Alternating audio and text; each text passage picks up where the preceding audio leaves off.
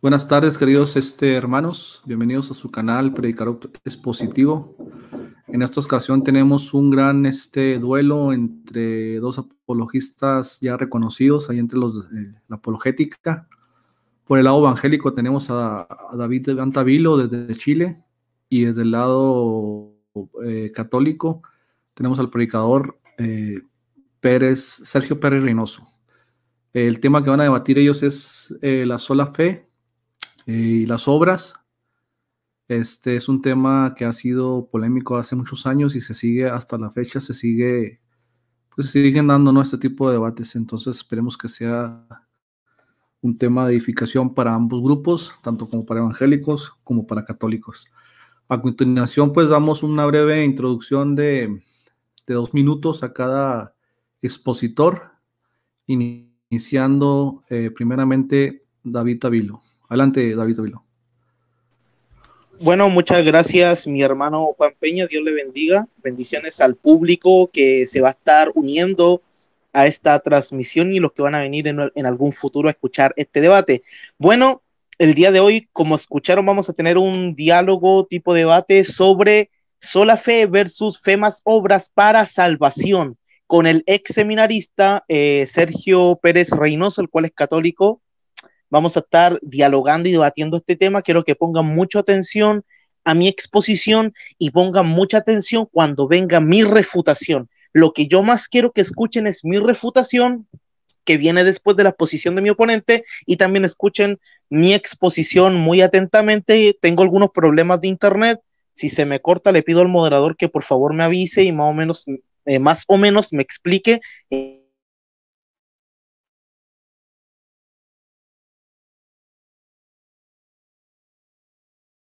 Al pastor Winston Medina, a mi hermano Dani Córdoba y al canal de YouTube Defiende tu Fe, canal oficial. Se despide David Iván Tavilo para comenzar. Me despido de la audiencia como saludo para comenzar el debate. Les saludo desde el país hermoso y precioso de Chile. Gracias. Gracias, David, por tu introducción. Eh, solamente señalarle a los hermanos que van a ver la transmisión, a las personas que se van uniendo, que por cuestiones de internet preferimos todos ocultar nuestro rostro, ¿verdad? Porque sabemos que el, transmitir con la cámara pues exige un poquito más de, de, fuerza del internet y pues por cuestiones de, internet de, ambos, de los que estamos aquí, pues es, preferimos ocultar el rostro, pero esto no es ningún impedimento, ¿verdad? Porque al final de cuentas lo importante son los argumentos, el pensamiento de cada uno. Ahora damos paso a la introducción del apologista y predicador este, Sergio Pérez Reynoso. Adelante, Pérez.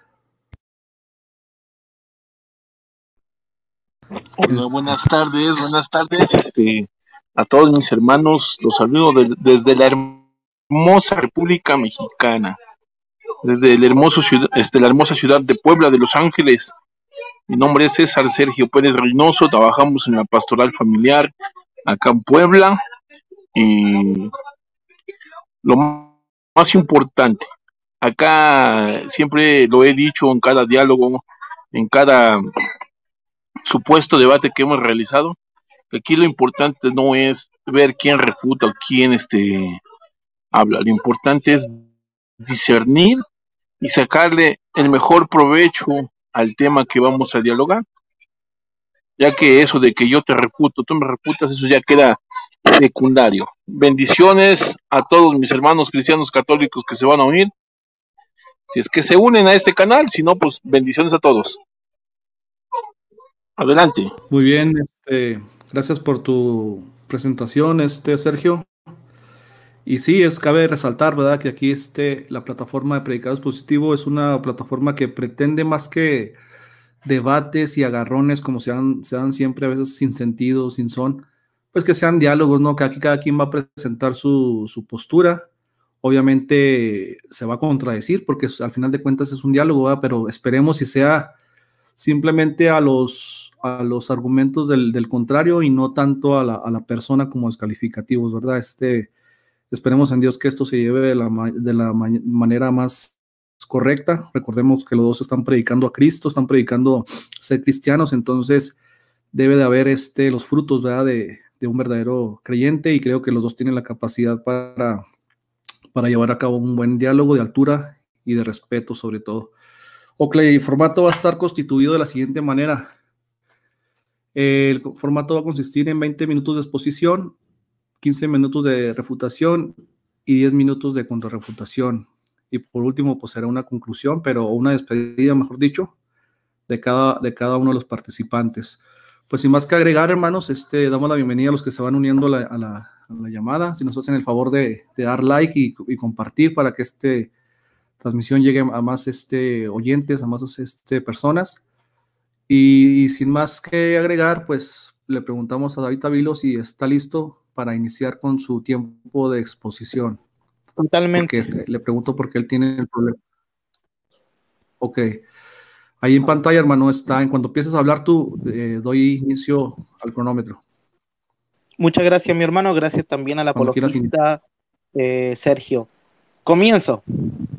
Bueno, eh, bueno, vamos a comenzar. Eh, obviamente este es un debate respetuoso, con amor cristiano. Yo voy a hablar con mucha firmeza, con mucha fuerza, con mucha autoridad que el Señor Jesucristo me ha dado para proclamar y defender su evangelio, pero esto no quiere decir que yo esté faltando respeto. Si utilizo la palabra refutar es simplemente para expresar que el argumento que de mi oponente es inválido. Y si da un argumento válido, obviamente también se lo voy a aceptar. No hay por qué rechazar todo lo que mi oponente diga, siempre y cuando no pase a llevar la escritura santa de nuestro Señor. Bien, vamos a comenzar. Bueno, eh, primer argumento, vamos a utilizar Efesios 2.8 al 10. Vamos a analizar palabra por palabra. El verso 8 en, en, en su primera parte de la primera oración del texto dice lo siguiente, porque por gracia habéis sido salvado por medio de la fe. Vamos al texto bíblico griego más antiguo, eh, apegado al original, analicemos la morfosintaxis griega, que es un paso de la hermenéutica que mi oponente católico debe de respetar. La primera oración del texto, eh, bíblico griego más antiguo de Efesios 2.8 dice lo siguiente, digar hariti este sososmeni dia pisteos. En esta primera oración, y esto lo estuve estudiando eh, para estos temas, ¿o no? En esta primera oración tenemos eh, ese por qué, el cual es una conjunción adverbial explicativa y jarito que sería un sustantivo dativo de función de medio. Complemento circunstancial de medio sois Amy, que es un verbo presente indicativo activo de segunda persona del plural. Eh, creo que quedé ahí en pisteo por eh, donde dice por medio de la fe, ahí aparece la preposición día, sería un complemento circunstancial de medio, eh, concuerda con gracia, dativo de medio y pisteo, que es un sujeto de la preposición. De esta explicación vamos con cuatro puntos que mi oponente católico obviamente no podrá refutar porque son verdades bíblicas. Punto uno, la palabra griega hariti es un favor inmerecido, la salvación no se recibe por merecerla pero mi oponente, que es católico, cree que por sus obras, aparte, de fe más obras, obtiene la salvación. Eso contradice la etimología del verbo griego. Mi oponente católico cree que la salvación va en proceso, que aún no está totalmente terminada en el creyente de manera pasiva. Lo, lo que no sabe mi oponente es que en Efesios 2.8, la palabra sois en griego imi es un verbo activo indicativo, lo cual denota que estos creyentes que estos creyentes ya son totalmente, completamente salvados en tiempo presente, ya estaban salvos.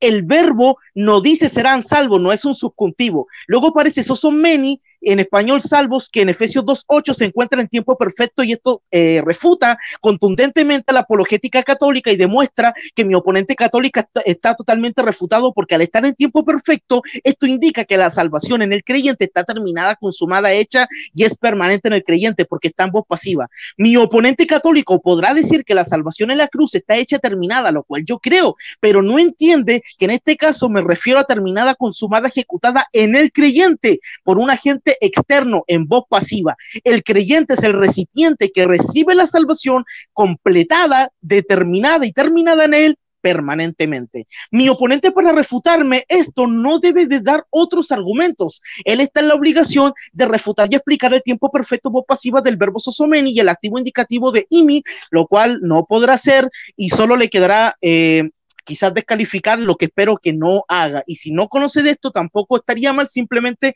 él tendría que decir, en eso no lo sé, y tratar de refutar de otra manera, lo cual igual sería inválido porque él debe de refutar mis argumentos para que queden desmentidos. La segunda oración de Efesios 2.8 dice lo siguiente, y esto no es de vosotros, pues es un don de Dios. Dos puntos sobre esta oración. Primer punto, tú, en español esto hace referencia a las palabras gracia y fe, ya que es un pronombre nominativo neutro singular y está en referencia a lo anterior. Seu Dios, que es un sustantivo en genitivo que concuerda con la preposición ek, que es una frase preposicional de fuente y su objeto imón, sin olvidar el adverbio negativo. Esto indica que ni la gracia ni la fe de Efesios 2.8 de nosotros no proviene de nuestra naturaleza humana, en realidad proviene del cielo, de Dios. Por lo tanto, los evangélicos no predicamos una fe como un muerto humana, natural. En realidad, los evangélicos predicamos una fe viva, celestial, salvífica, don de Dios del cielo. Pregunta mi oponente católico, ¿los dones, gracia y fe que Dios nos da son dones muertos? ¿Acaso esa gracia está muerta? Porque mi oponente se encuentra la obligación de responder, ya que eh, ellos explican que nosotros tenemos una fe muerta, lo cual es totalmente eh, falso. Y sabemos que la gracia y la fe, que es un regalo de Dios, no puede morir. Para responder esta pregunta, mi oponente debe responder tutu, que es un pronombre neutro singular que se refiere a lo anterior, y seu, que es un sustantivo genitivo que concuerda con ek, que es una frase preposicional de fuente y eh, su fuente imón y el adverbio negativo.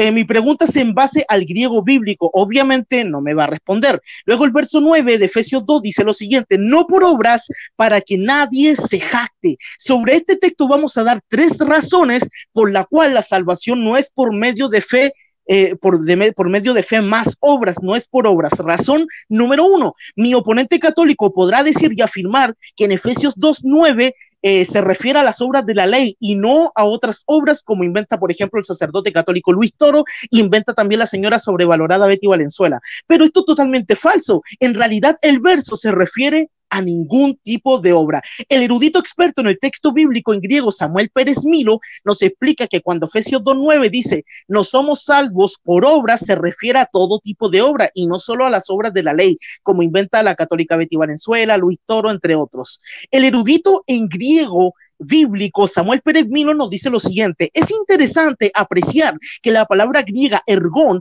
obras, está en plural, lo que conlleva a un sentido absoluto en comprensión plena de cualquier tipo de obra. Eso lo pueden encontrar en su comentario exegético al texto griego del Nuevo Testamento de Efesios de Samuel Pérez Milo, página 127. Por lo tanto, el texto bíblico de Efesios 2.9 griego y la palabra ergón, que está en plural, por lo tanto, la salvación no es ni por obra de misericordia, ni por obra de la ley, ni por ningún tipo de obra, ni por fe más obras. Es únicamente por gracia por medio de la fe. Por lo tanto, eso refuta contundentemente a mi oponente. Punto número dos.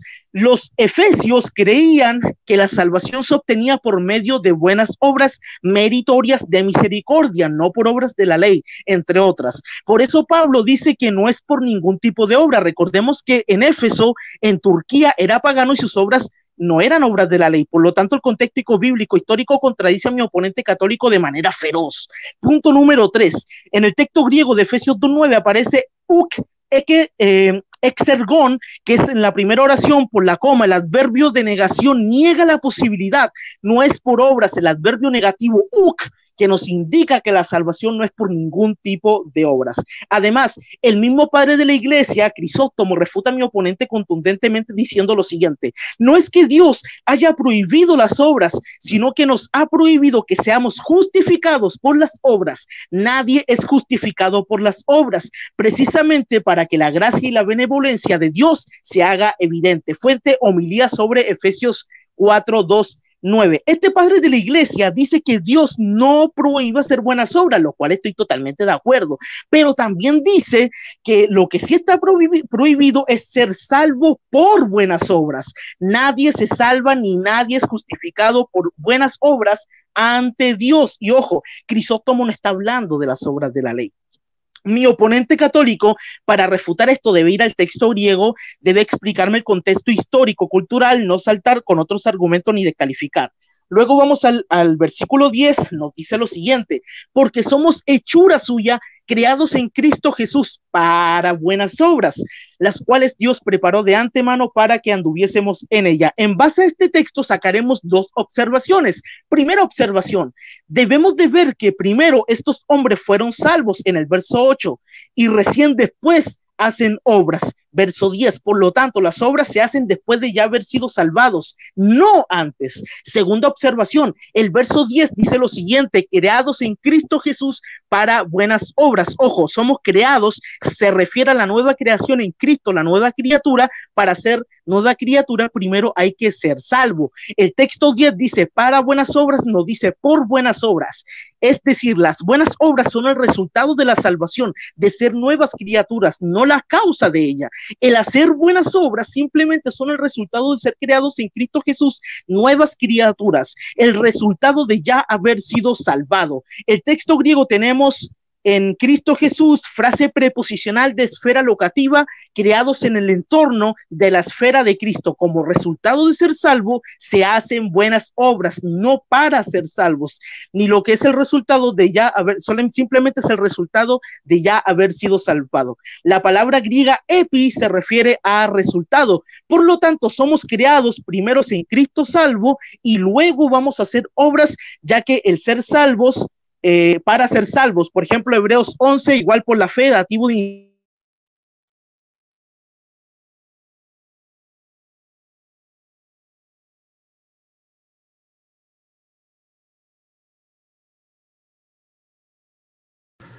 A ver, se le fue un poquito la voz ahí. Esperemos. ¿Me escucha David Tavilo? Se te fue un poquito la voz. No sé si quieras salir y entrar otra vez.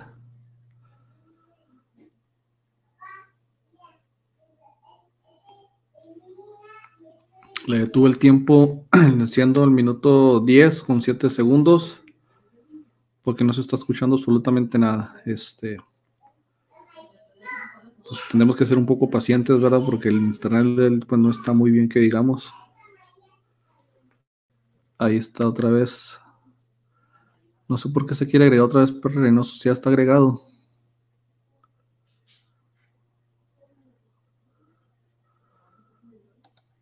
A ver.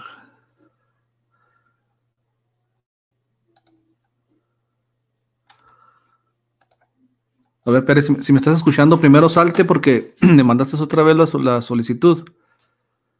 Pero si te vuelvo a agregar, te vas a agregar doble. Y se va a escuchar. Ay, ok, ahí está. Déjame te agrego.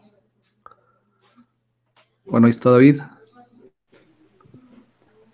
Aló. Esperemos que llegue Pérez. Sí, tengo mucho, mucho problema de internet. Por, lo pronto, audiencia igual, disculpe mi hermano. Ahí está Pérez Reynoso, sí. Sí, ahora fue más fluido, duró, duraste más tiempo. Esperemos ya concluyas con, esta parte que, sigue. Mi indicación para aprovechar el tiempo. Bien, si pueden apagar el micrófono para comenzar rápido bien. Okay. Reynoso, eh, gracias. Bien, comienzos. Eh, Tú indicas cuándo, cuándo te, Dale, ahora ya. Bien, segundo argumento en Romanos 5.1 enseña la doctrina de la sola fe. Este verso dice lo siguiente, habiendo sido justo.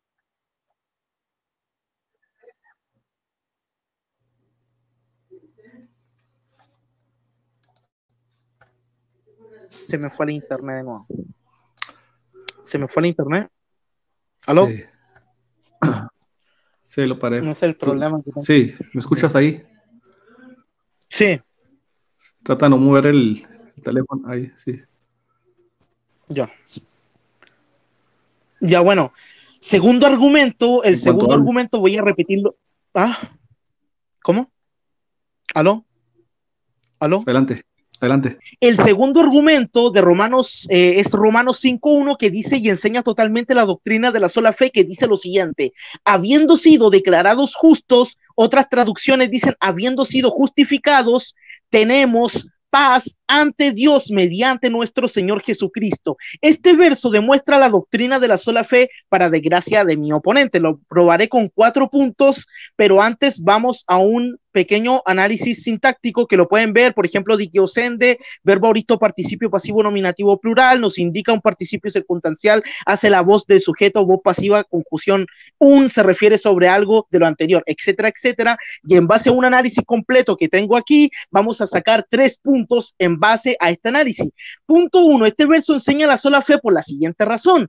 En Romanos 5.1 la fe es monádica, es decir, única porque en el griego, aunque en el griego no aparece el artículo sola, independientemente del sentido de sola fe, desde la misma traducción, porque es monádico, se sobreentiende que es una sola fe, el artículo se debe poner al traducir. Cuando se determina la fe, se refiere a algo único. En la traducción tenemos el artículo determinante. El texto dice, por la fe se entiende que se refiere a una sola fe única. El texto no dice por una fe. Si dijera una fe, se sobreentiende de que hay más fe pero acá se refiere por la fe a una fe única, porque hay una sola fe salvífica, por lo tanto se refiere a sola fe. Punto dos, en el texto griego que mi oponente no puede criticar porque no lo conoce, en este texto tenemos una conjunción consecutiva, un, que une el verbo justificación con el verbo fe, de tal manera que no se puede introducir ningún tipo de obra para ser justificados ante Dios, ningún tipo de obra, ni de misericordia, ni de la ley, ni de nada, de nada. Por lo tanto,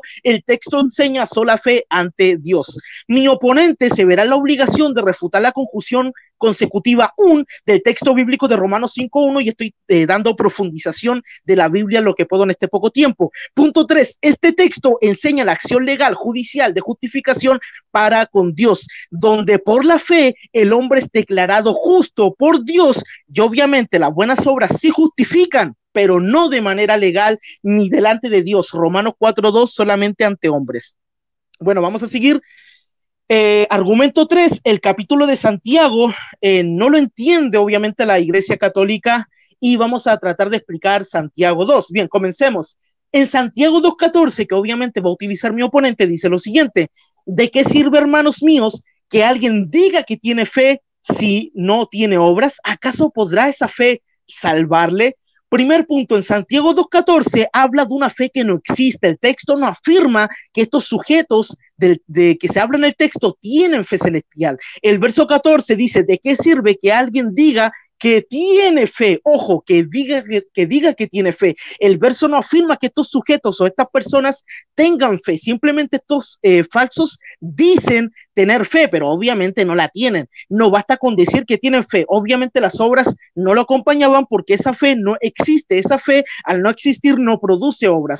Pero nosotros, los evangélicos, predicamos una fe viva celestial que viene del cielo. Efesios 2.8 aparece la conjunción copulativa griega que, que une la palabra fe y gracia con la frase y esto no es de vosotros, pues es un regalo de Dios. Esto demuestra que la fe celestial es un don de Dios, no es de nosotros. Por lo tanto, los evangélicos predicamos una fe viva del cielo que es un don de Dios. Pregunto a mi oponente, ¿un don de Dios es vivo o es muerto? Obviamente vivo. Por lo tanto, esa fe es viva, pero la fe de lo que se habla en Santiago es una fe muerta que no existe, en realidad no es fe. Punto 2. Santiago 2.14 dice, ¿podrá esa fe salvarle? Obviamente no se refiere a salvación del alma, simplemente se refiere a salvar, librar a un hermano de una situación de pobreza y necesidad.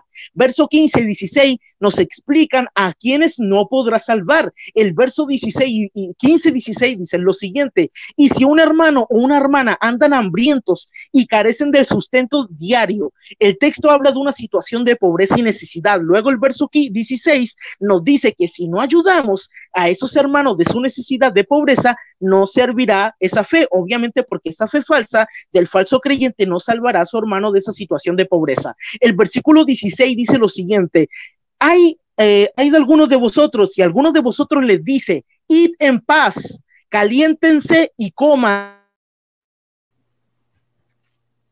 Bueno, voy a repetir nuevamente. En, bueno, en Santiago 2.14 dice, ¿Podrá esa fe salvarle? No se refiere a salvación del alma, no es un texto de soterología, simplemente se refiere a salvar, librar a un hermano de una situación de pobreza y necesidad. El verso 15 y 16 nos explica, nos, nos explica claramente a quienes no podrá salvar esa fe. El verso 15 y 16 dice lo siguiente, si un hermano o una hermana andan desabrigados y carecen del sustento de, de diario, el texto habla de una situación de pobreza y necesidad. Luego el verso 16 nos dice que si no ayudamos a esos hermanos de su necesidad, no servirá esa fe, obviamente porque esa fe salva del falso creyente, no salvará a su hermano de esa necesidad de pobreza. El versículo 16 contundentemente nos dice lo siguiente, si alguno de vosotros le dice, id en paz, caliéntense y, y aliméntense, pero no les dais la cosa necesaria para el cuerpo, ¿de qué servirá? Por lo tanto, la carta de Santiago no es de soterología. Tuf en el griego no se refiere a salvar, eh, perdón, en eh, sotería, no, no se refiere a salvar al poseedor de la fe, simplemente se refiere a salvar a los que lo rodean porque está en un contexto de comunidad. El texto dice, no va a servir, de nada va a servir esa fe, no vas a poder salvar, librar a un hermano de una necesidad de pobreza si tienes una fe totalmente falsa. Por lo tanto, ese verso no está hablando de salvación del alma, solo se refiere a salvación de una situación de pobreza. Luego el versículo 17 nos dice lo siguiente, así también la fe, si no tiene obras, está muerta en sí misma. Exactamente, aunque debemos, de comprender que Santiago se refiere a sujetos que tenían tiempo de congregarse, luego de un tiempo la fe germina, produce obras, una fe viva produce frutos y esa fe predicamos los evangélicos, no una fe muerta. Luego el versículo 18 dice lo siguiente, pero alguno dirá, tú tienes fe, yo tengo obra, muéstrame tu fe sin tus obras, yo te mostraré mi fe por mis obras. Veremos que en el verso 18, que este texto muestra un ejemplo de cómo esas personas con fe muerta no pueden mostrar verdaderamente la salvación ante los espectadores humanos. Por lo tanto, no son en verdad justificados o salvos, pero los evangélicos reales sí predicamos una fe que produce obras, eh, demostramos nuestra salvación con nuestros hechos. Por lo tanto, en verdad Santiago aquí habla de una justificación del creyente frente a espectadores humanos, no ante Dios. Las obras simplemente justifican, prueban, demuestran, evidencian, comprueban ante los hombres que realmente somos salvos, pero justifican como evidencia, no en un sentido jurídico. Debemos de comprender que en este verso se hace un reto a la persona que tiene realmente fe o que no tiene fe. Eh, si verdaderamente tienes una fe, vas a mostrar tu fe con tus obras, como evidencia. Pero el texto no dice las obras te van a salvar. El texto no dice las obras te van a salvar del infierno. El texto no lo dice. Simplemente se está demostrando aquí que las obras justifican, comprueban, demuestran al a, a los humanos, a las personas del mundo que somos verdaderamente cristianos.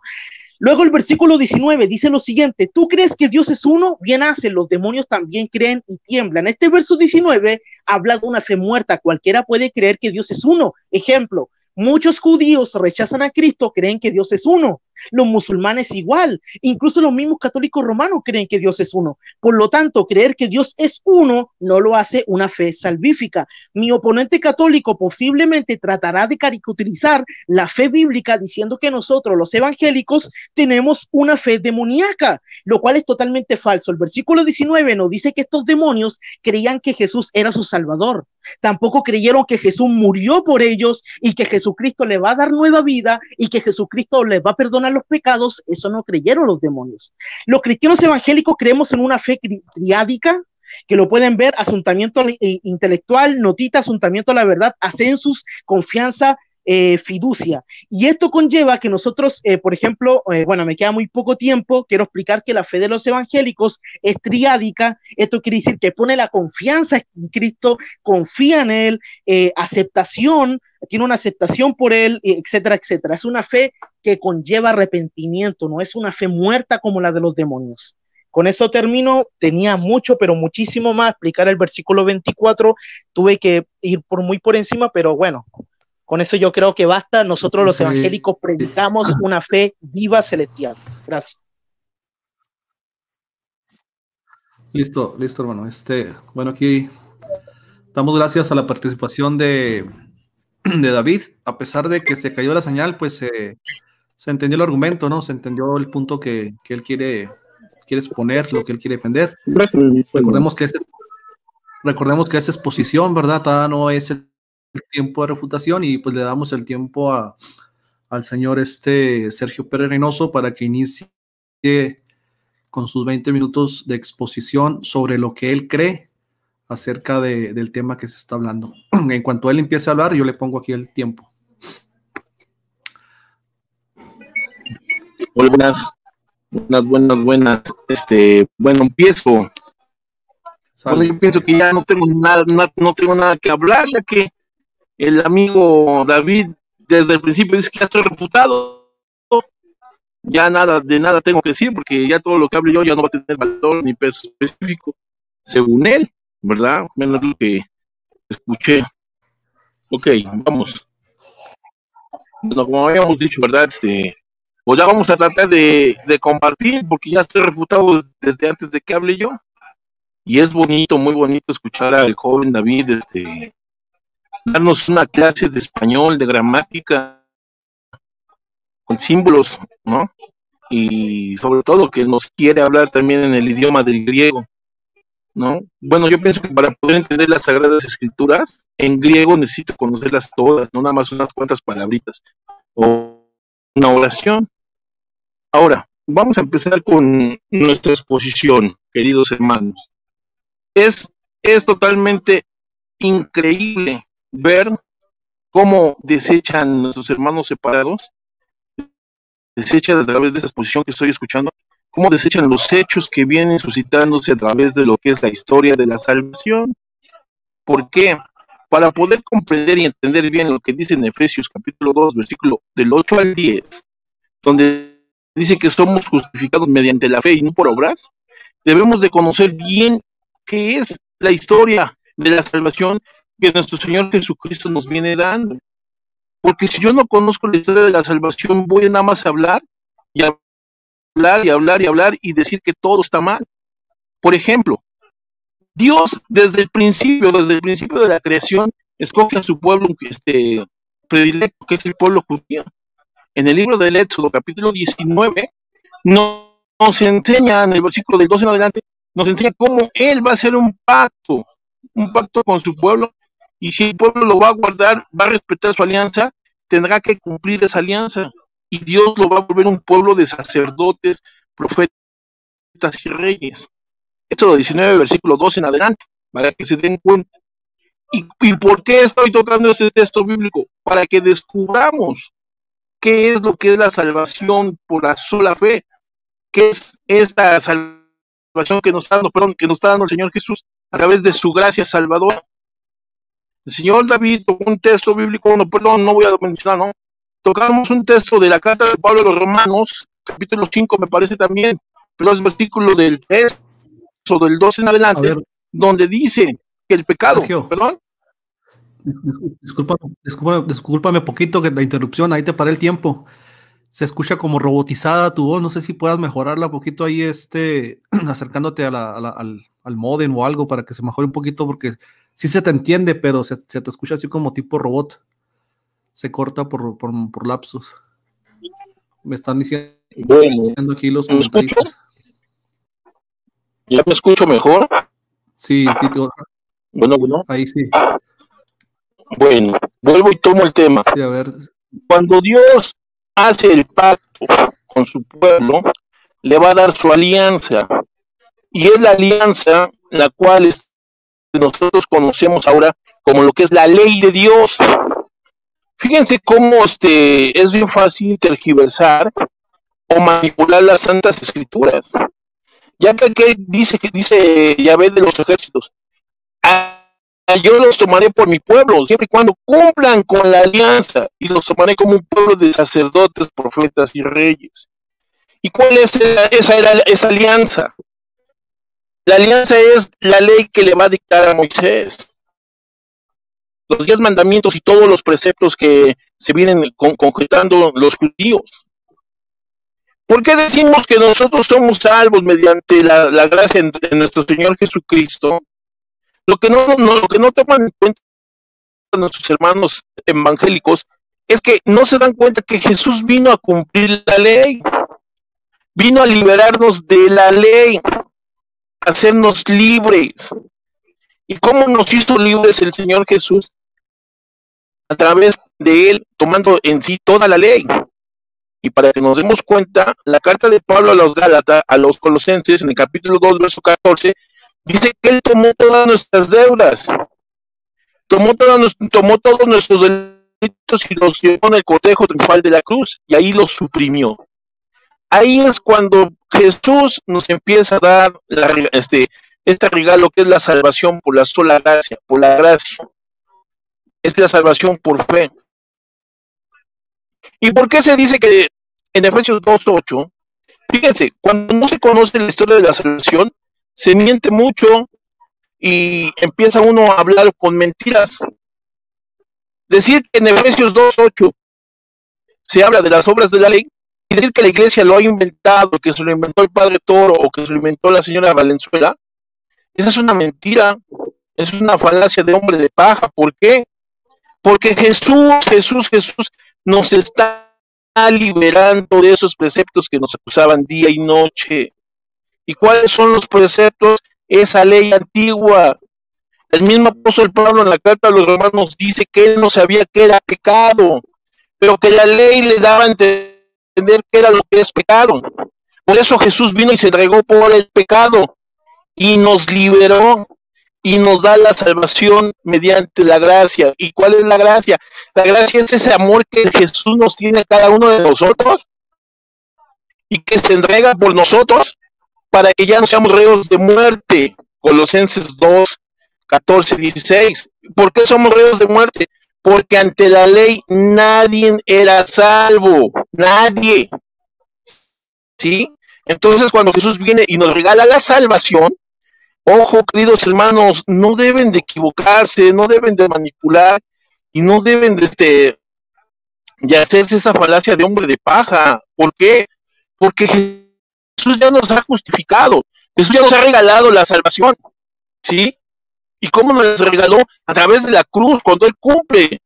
Dice el evangelista dice que cuando Jesús estaba en la cruz, dice, Padre, todo, todo está cumplido. ¿Y qué es lo que está cumplido? todo lo que nos acaba a nosotros, que es la ley. Y si no lo quieren creer, queridos hermanos, yo los invito a que estudien un poquito más a profundidad. No se vayan a estudios de gramática, estudios de español, no se vayan a esos estudios, no estudien a profundidad lo que es la historia de salvación para que se den cuenta cómo Jesús de qué nos va a salvar, cuál es la salvación por gracia. Y si no lo quieren creer también, dice la carta, perdón, el libro de los Hechos de los Apóstoles, capítulo 15, versículo del 8 al 12, por ahí no, me acuerdo más, sí, creo del 8 al 12, donde el mismo apóstol Pedro les dice, ¿cómo quieren imponer a ellos, a los nuevos convertidos, un yugo? Un yugo que nosotros mismos ni, ni nuestros antepasados pudieron soportar, que es la ley, porque se dio el debate que querían este, hacer circuncisos a los nuevos convertidos. Y Pedro le dice, ¿cómo les quieres imponer eso? Nosotros ya somos salvados por medio de la gracia de nuestro Señor Jesucristo. Fíjense, hay que entender qué es la salvación. ¿Cuál es esa salvación que el mismo apóstol Pedro en el libro de los Hechos está diciendo? Somos salvos por medio de la gracia. ¿Y cuál es la gracia? Ese amor que Jesús este, demostró la cruz para liberarnos de esos preceptos antiguos. Por eso Pablo, al decir, y no por obras para que nadie se gloríe. ¿Por qué? Porque en ese momento, señores, lástima, creo que no conocen la historia de la salvación. El pueblo convertido todavía quería seguir predicando los preceptos de la ley, las obras de la ley antigua. Es por eso que Pablo dice que no por obras. ¿Cuáles obras? Las obras de la ley. Mi hermano te va a decir que es una mentira, que es un invento del padre Toro, que es un invento de la señora Valenzuela. No. Vienen en las sagradas escrituras con textos bíblicos, los estoy demostrando. No es un invento de el padre Toro. Esto es el proceso que Jesús vino dándonos para que salvara a su creación perfecta, que es la humanidad, que somos todos nosotros. Ojo, cuando nosotros ya somos salvos mediante la gracia, cuando el Señor ya nos ha regalado esa gracia, también el mismo Señor Jesús nos viene advirtiendo mucho. Recuerden, ¿qué le dijo al paralítico? Tus pecados son perdonados. Toma tu cabilla, levántate y no peques más. Ya le está regalando la salvación al paralítico. ¿Sí? Pero también le está diciendo en este momento, no peques más. ¿Por qué? Porque si peca uno, el pecado nos va contaminando.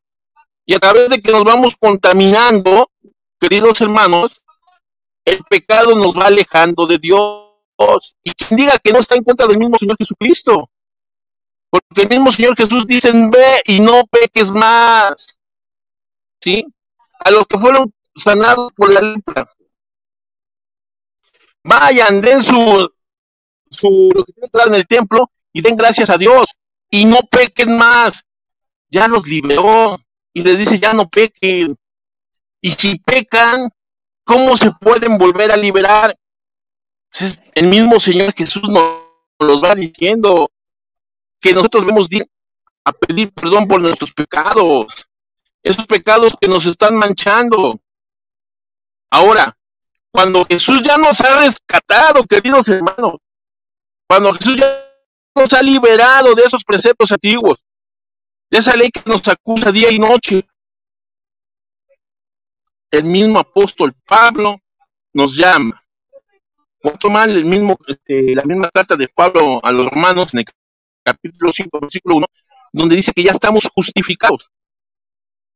Y es cierto, todo aquel que es bautizado en el nombre de nuestro Señor Jesucristo, es bautizado, ya es justificado, nueva criatura es, ya tiene la salvación asegurada.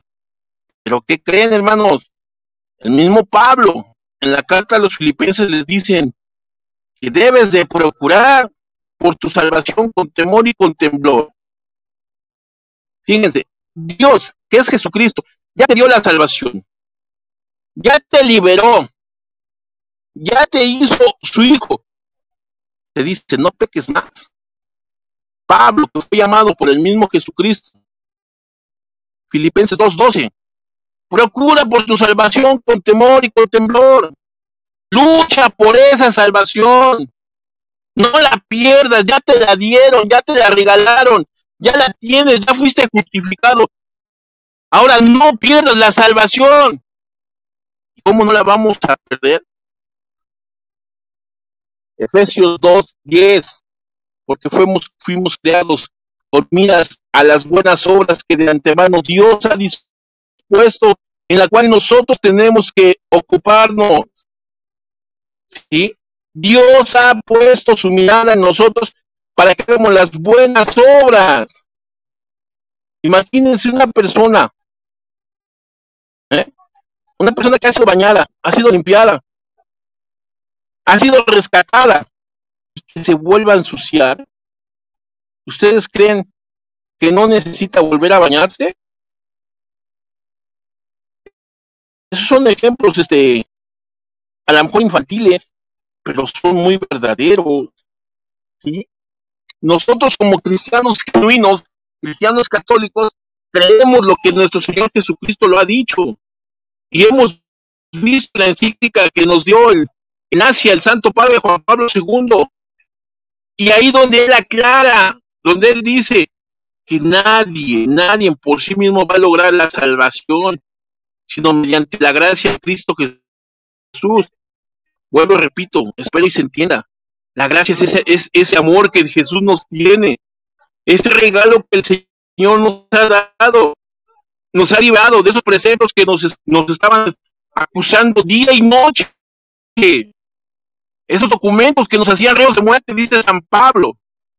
En la carta de Pablo, en el capítulo 7 a los romanos, fíjense, si Pablo tuviese la misma ideología que tienen ahora los hermanos, que creen que ya nada más porque tienen fe ya son salvos por siempre.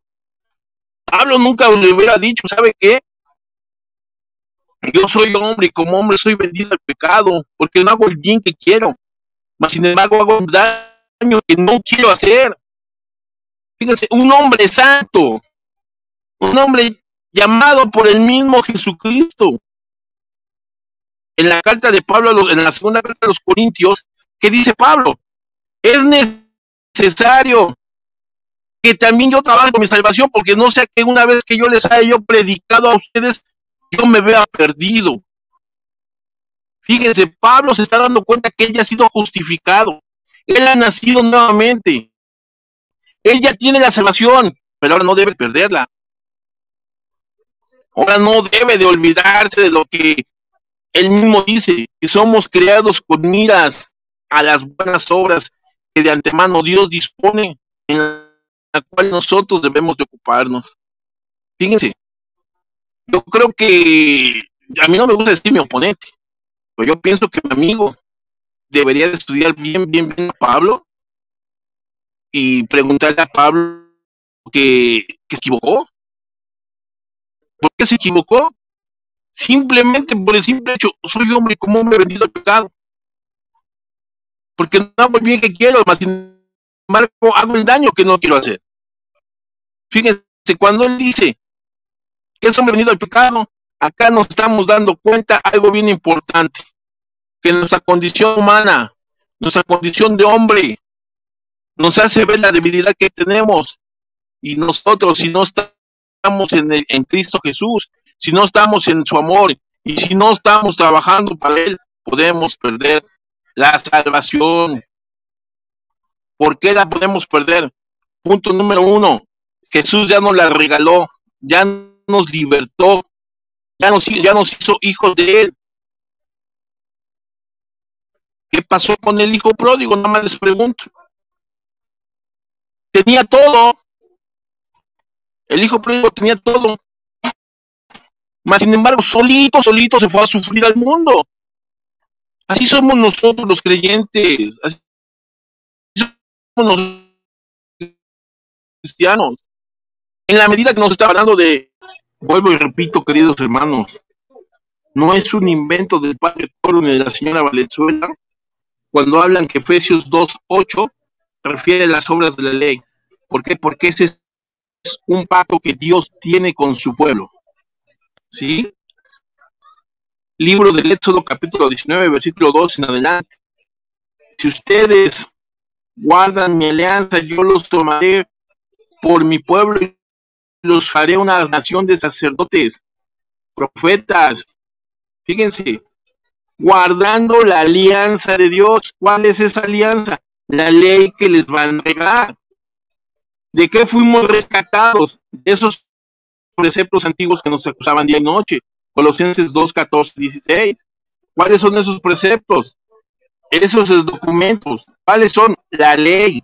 Por eso somos salvos mediante la gracia en Cristo Jesús. Efesios 2, 8. Somos salvos mediante la gracia. ¿Por qué? Porque Jesús se entregó por nosotros. Dio su vida para rescatarnos. Todo está cumplido, dice el Señor Jesús.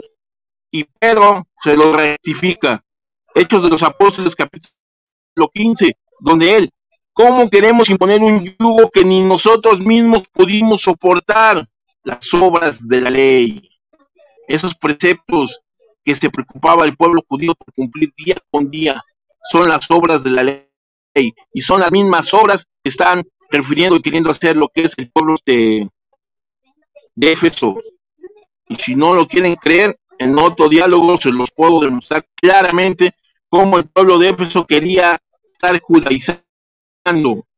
Eso ya es historia, queridos hermanos. Entonces, lástima es ver que se preocupe uno por ortografía, por clases de español y no por conocer lo que es el reino de la, de la salvación, el reino de Dios. ¿Sí? Entonces, no hay ninguna mentira de parte del, del sacerdote Luis Toro ni de la señora Valenzuela ya que el mismo Dios dice, si ustedes guardan mi alianza, yo los tomaré como mi pueblo. La alianza que, que, Dios hizo es la ley. ¿Y de qué nos está rescatando Jesús? De la ley. Por eso dice que nadie es salvo por obras. ¿Cuáles obras? Las obras que marcaban la ley. ¿Sí?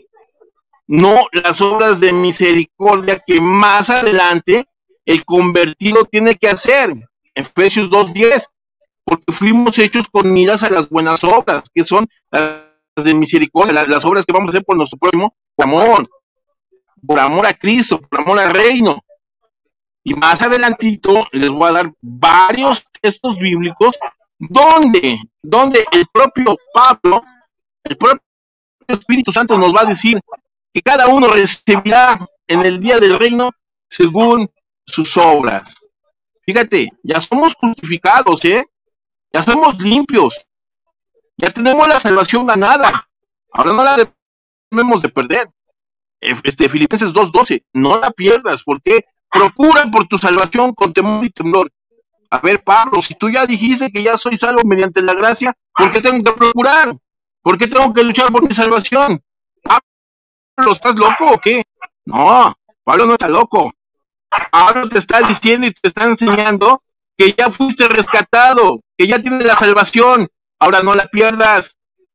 Y por último, Jesús te lo dice, no peques más. Jesús, hijo de David, le dice el leproso, ten compasión de mí. Jesús se acerca y le dice, ¿qué quieres, hijo mío? Sáname, sáname. Jesús le dice, tus pecados son perdonados. Le impone las manos y sana. Y le vuelve a decir, no peques más. Y el pecar nos separa de la gracia salvífica que el Señor nos ha dado. ¿Por qué? Porque ella te regaló la salvación. Ella te, ya, ya se entregó por cada uno de nosotros. Ahora nosotros no la desperdiciemos. Por eso Jesús dice, no echarle las perlas a los cerdos. Adelante. Esto, don Pérez. Tiempo cumplido.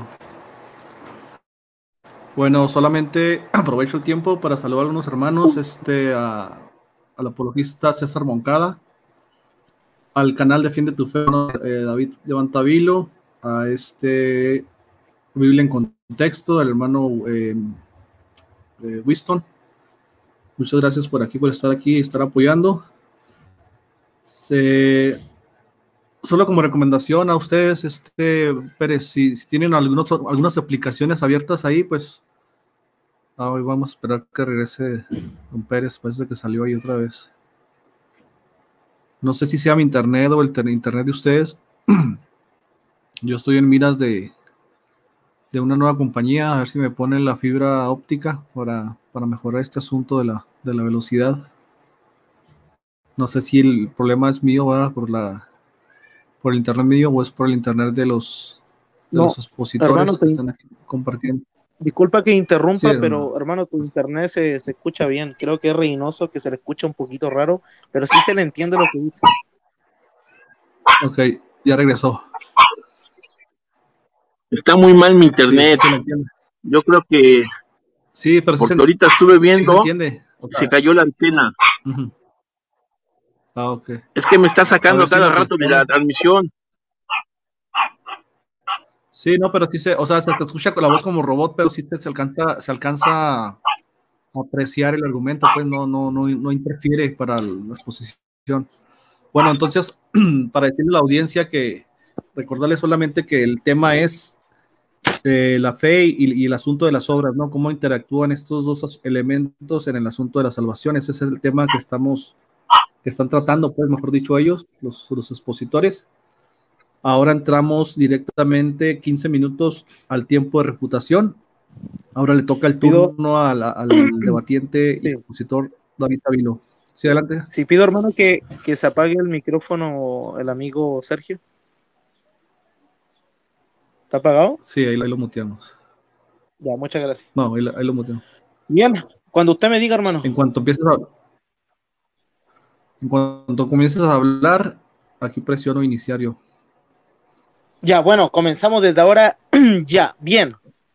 Bueno, primero eh, debemos de comprender que no estamos debatiendo si la salvación se pierde o no se pierde. Creo que mi oponente católico está en otro debate. Creo que él está en el tema de si se pierde o no se pierde la salvación. Aquí el tema es sola fe versus fe más obras para salvación. Y eso es lo que quedamos eh, hace unos días atrás de debatir, pero mi oponente católico está debatiendo sobre si se pierde o no se pierde la salvación, tema que ni siquiera estamos debatiendo, ese sería para otro día, no estamos debatiendo ese tema. Bien, vamos a comenzar. Él dice que no conozco la historia de la salvación, obviamente yo entiendo que Cristo nos salvó, obviamente, de la condenación y también nos salvó de los preceptos antiguos, que eran las obras de la ley. Obviamente, ningún hombre va a ser salvo por las obras de la ley. En eso estoy totalmente claro. Nadie va a ser salvo por las obras de la ley. Romanos 3:28 dice lo siguiente, dice, porque sostenemos que todos somos justificados por la fe y no por las obras de la ley.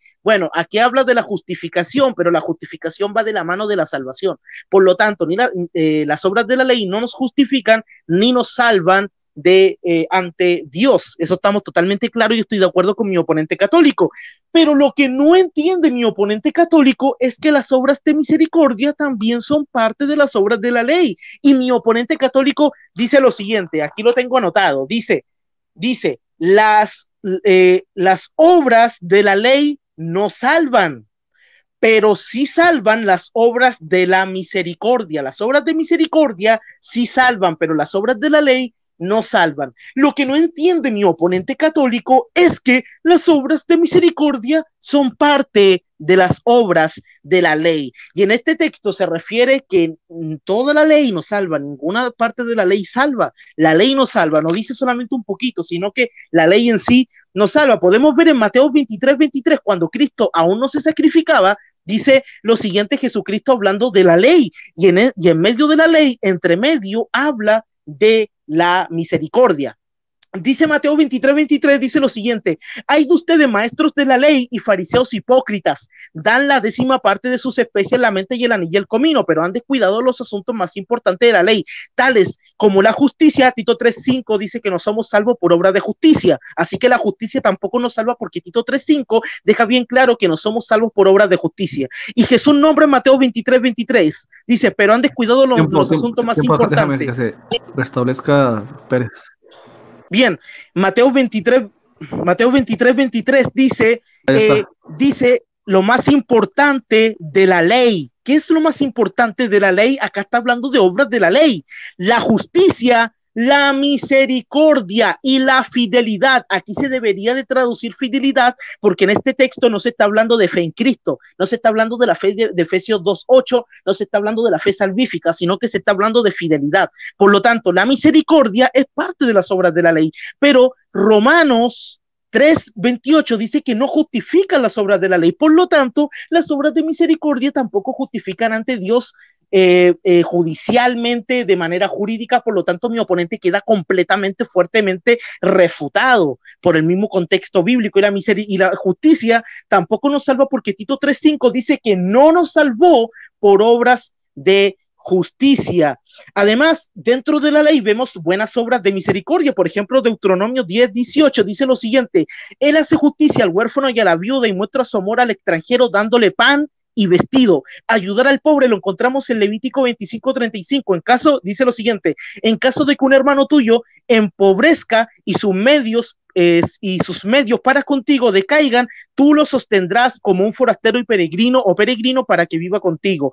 Obras de misericordia al pobre, Deuteronomio 15, 11, eh, porque nunca faltarán pobres en tu tierra, por eso te ordeno diciendo, con libertad abrirás tu mano al hermano, al, al necesitado y al pobre en tu tierra, o sea, ayudar al pobre. Por lo tanto, las obras de misericordia son parte de las obras de la ley y todos los textos que dicen que no es por obras de la ley se refiere a todas las obras de la ley. Por lo tanto, Romanos 3:28 refuta contundente, contundentemente a mi oponente porque dice que dice, porque sostenemos que somos salvos justificados por la fe, nuevamente monádico, refiriéndose a una sola fe, a la sola fe y no por obras de la ley. Y el texto tampoco dice, porque somos, eh, sostenemos que todos somos justificados por fe más obras de misericordia. El texto tampoco dice eso.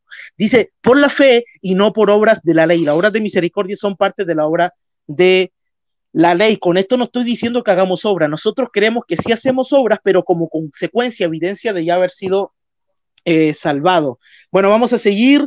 Mi oponente católico también eh, utiliza Efesios 2.9 y dice que, que yo invento, que no se refiere, que la señora Betty Valenzuela y el padre Luis Toro no mienten, de que yo soy el mentiroso que quiere dar a entender que no se refiere a obras de la ley. Yo desde mi exposición dije bien claro, Efesios 2.9, cuando dice no por obras, se refiere a todo tipo de obra, tanto de misericordia meritorias como de la ley. Por lo tanto, la salvación no es ni por obras de la ley, ni por obras de misericordia, ni meritorias. Mi oponente, ¿qué hizo? Es descalificar el griego, descalificar la gramática. Pero ¿qué sucede? Los mismos eruditos, profesores, teólogos, católicos romanos de Salamanca enseñan y dicen que es bueno estudiar la gramática del griego y también el español. Así que los mismos eruditos católicos refutan contundentemente a mi oponente. Además, mi oponente no tiene que descalificar el texto griego porque fue el Espíritu Santo el que eligió el plural, el plural, el que eligió los verbos, las conjunciones, los tiempos gramaticales, lo eligió el Espíritu Santo, no lo elegí yo. El texto fue escrito en griego, no fue escrito ni en español ni en inglés. Y mi oponente no me ha podido explicar por qué el erudito católico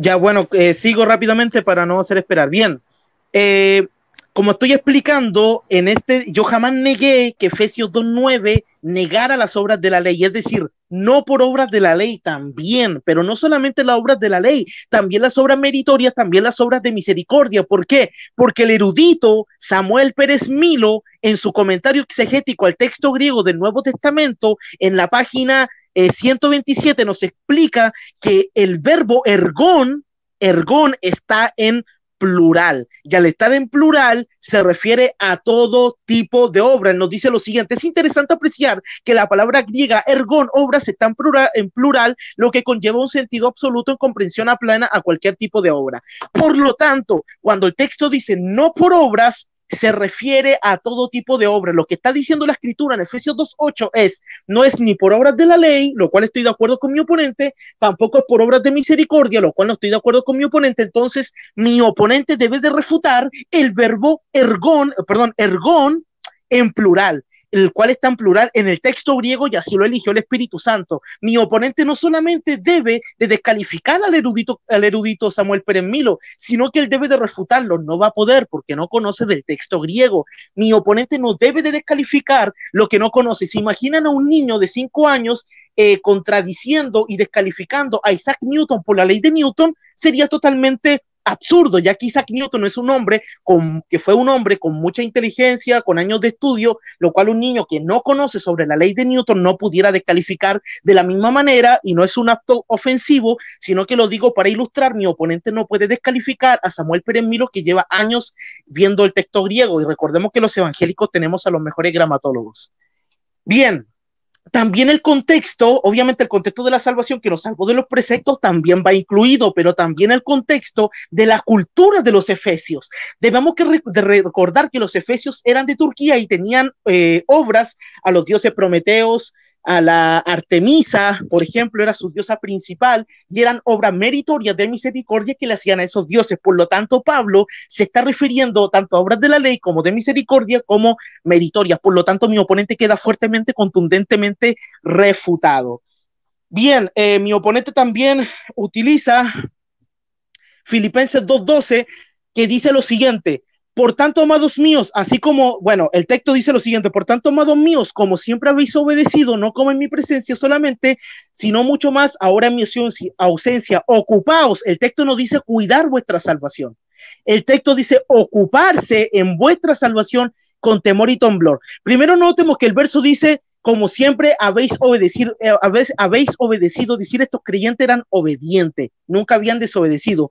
El verso, el verso responde obedecer a qué? Responde lo siguiente, obediente no solamente en mi presencia, también ahora en mi ausencia. Es decir, que estos creyentes eran obedientes a Pablo en su presencia, pero también deberían de serlo trabajando, ocupándose, aunque Pablo no esté presente. Por eso el verso eh, luego dice, ocúpense en vuestra salvación. Es decir, ocuparse en la salvación, ya que estos ya tienen esa salvación. O sea, aunque, esté eh, aunque no esté el supervisor, aunque no esté el pastor, estos creyentes deben de ocuparse de la salvación. Pero el texto no dice cuidar la salvación que la puedes perder. Eso, esto, eso está en la imaginación de mi oponente. El texto tampoco dice luchar para obtener la salvación. El texto está hablando de personas salvadas completamente. El texto no está diciendo que hay que luchar para obtener la salvación como piensa mi oponente. ¿Por qué? Porque voy a explicar. Cuando el texto dice eh, vuestra es un adjetivo posesivo, indica que ya eran salvos. Es decir, estos creyentes no tenían que obrar para ser salvos, porque ellos ya eran salvos por el adjetivo posesivo vuestra. Por ende, estos creyentes se ocupaban en la salvación porque ya eran totalmente salvos, como Efesios 2.8, donde está sosomeni en voz pasiva, un verbo, un verbo eh, participio perfecto pasivo, indicando que estos eh, creyentes ya eran salvos total, definitivamente, ya estaba hecha la salvación terminada en ellos, ejecutadas en ellos, voz pasiva. Por lo tanto, mi oponente también queda totalmente refutado. Aparte, eh, la frase temor y temblor es un hebraísmo del Antiguo Testamento de reverencia, no de miedo a perder la salvación como, como lo cree mi oponente. El texto no dice temor y temblor a perder la salvación. El temor y temblor o temor y eh, perdón a no poder obtener la salvación. El texto no dice eso, eso se lo imagina mi oponente. En realidad es la reverencia, como nos indica el léxico bíblico griego de Alfred Taggi, en su contexto, como explica que es de reverencia, porque en el versículo 10 del mismo capítulo, que se salta mi oponente porque no le conviene, explica que toda rodilla se nombrará, se doblará ante Jesús en pocas palabras, reverencia. También otro punto es que eh, el creyente, si se ocupara, es, es eh, en servir, porque Dios pone el querer como el hacer. El verso 3 lleva un conector en el cual nos explica lo siguiente, porque Dios coloca tanto el querer como el hacer. Dios, no, Dios pone el hacer el hacer para buenas obras, pero después de ya haber sido salvado por el adjetivo posesivo vuestra, vuestra salvación, estas personas ya son salvas, el texto no dice para recibir la salvación después, sino que son personas salvas. Ahora, mi oponente podrá decir, es que claro, estamos en un proceso de salvación totalmente falso, porque el verbo perfecto en voz pasiva de Sosomen en Efesios 2.8 refuta contundentemente a mi oponente porque la salvación ya está terminada, hecha, completada en el creyente en voz pasiva. Mi oponente debe de refutar la voz pasiva, debe de explicarnos el tiempo perfecto, debe de explicarnos el adjetivo posesivo de Filipenses 2.12. Obviamente no lo va a hacer y con esto no lo quiero obligar a que refute algo que no conoce. Simplemente él debería de estudiarlo y lo que yo no conozca también debo de estudiarlo. Así que refutado mi oponente y repito, no estamos debatiendo si la salvación se pierde o no se pierde. Eh, a ver, eh, ¿qué más? Eh, Dice, bueno, el hijo pródigo perdió, eh, podía perder su salvación. No, pregunto, ¿el hijo pródigo se perdió? No, solito volvió, perseverancia de los santos. Además, ese texto no habla de personas que eran salvas y luego se van al mundo, sino que se refiere a personas que estaban en el mundo y luego son salvos. Ese es el contexto del hijo pródigo. Y siguiendo tu lógica, estás demostrando la perseverancia de los santos. ¿Por qué? Porque esa persona se fue al mundo y volvió, no se quedó en el pecado. Por lo tanto, la salvación tampoco se pierde, tema que ni siquiera estamos debatiendo. Por favor, céntrate en el tema, Sergio Pérez Reynoso. Eh, bien, eh, Dice Jesús, cumplió la ley, toda la ley, pagó la deuda, estamos totalmente de acuerdo. Dice la obra de la ley, eh, bueno, ya demostramos que Betty y Luis Toro mienten, y usted también, porque usted dijo lo mismo. Eh, a ver, ¿qué más dice? Bueno, inventó algunos textos, algunos textos lo leyó mal y le puso palabras que los textos ni siquiera dicen. bueno, más que nada dijo eso, ¿no? En, resumidas palabras. Entonces, con el poco tiempo que me queda, quiero refutar algunos otros argumentos que posiblemente dirá mi oponente. Bien, él puede decir que Lutero agregó el artículo sola en Romanos, pero lo que no entiende mi oponente católico es que eh, hay Biblias católicas que también lo, agregaron. Por ejemplo, la Biblia de eh, Nuremberg en 1483 antes de Lutero, eh, Nur Durch den Glauben y la Biblia italiana de Ginebra de 1476 y de Venecia 1538 dicen por sola fide y también muchos padres de la iglesia en ese mismo texto agregaron sola fe y nos dicen Belardino, nos dicen varios eruditos católicos de aquel siglo y también de los siglos más eh, nuevos, ¿o no? Por ejemplo, Jerónimo dice, Dios justifica solo en la fe y, agrega sola fe ese artículo en el mismo texto de Martín Lutero, en Epístolo los Romanos capítulo 3, 30. Por lo tanto, hace lo mismo también Juan Crisóstomo, Ambrosiestre, eh, Vedal Venerable y entre otros padres de la iglesia que también agregaron el artículo sola, ese es el argumento. Eh, a ver, ¿qué más puede decir? Bueno, yo quiero que él toque Santiago, que en este texto me toque Santiago, porque ellos dicen que tenemos la fe de los demonios, lo cual es falso. Los demonios creen que Dios es uno, los testigos de Jehová también creen lo mismo, pero ellos no creen que Dios murió por ellos, lo, resucitó, los salvó de los pecados, los justificó, los perdonó. Los demonios no creen eso, por ende tienen otra fe. Gracias, mi hermano. Concluido. Ok, muy bien. Entonces aquí reiniciamos el tiempo y por la exposición de David Tavilo.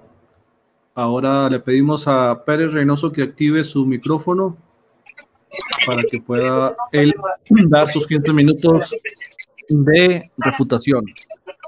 En cuanto empiece a hablar, le iniciamos el tiempo. Bueno, bueno. Nada más les, les hice para que se descubran qué es la salvación por la gracia yo, creo que entonces el señor David no entiende lo que yo le estoy dando a entender para que se dé cuenta cuán importantes son las obras en la obra de todo cristiano. No a lo que el Señor está diciendo.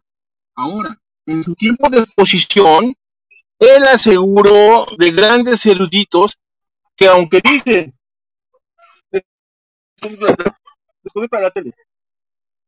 perdón, él asegura de muchos grandes eruditos que aunque dicen que no aparece la palabra sola, él también la quiso agregar al texto bíblico, junto con lo que hicieron este Lutero y los demás.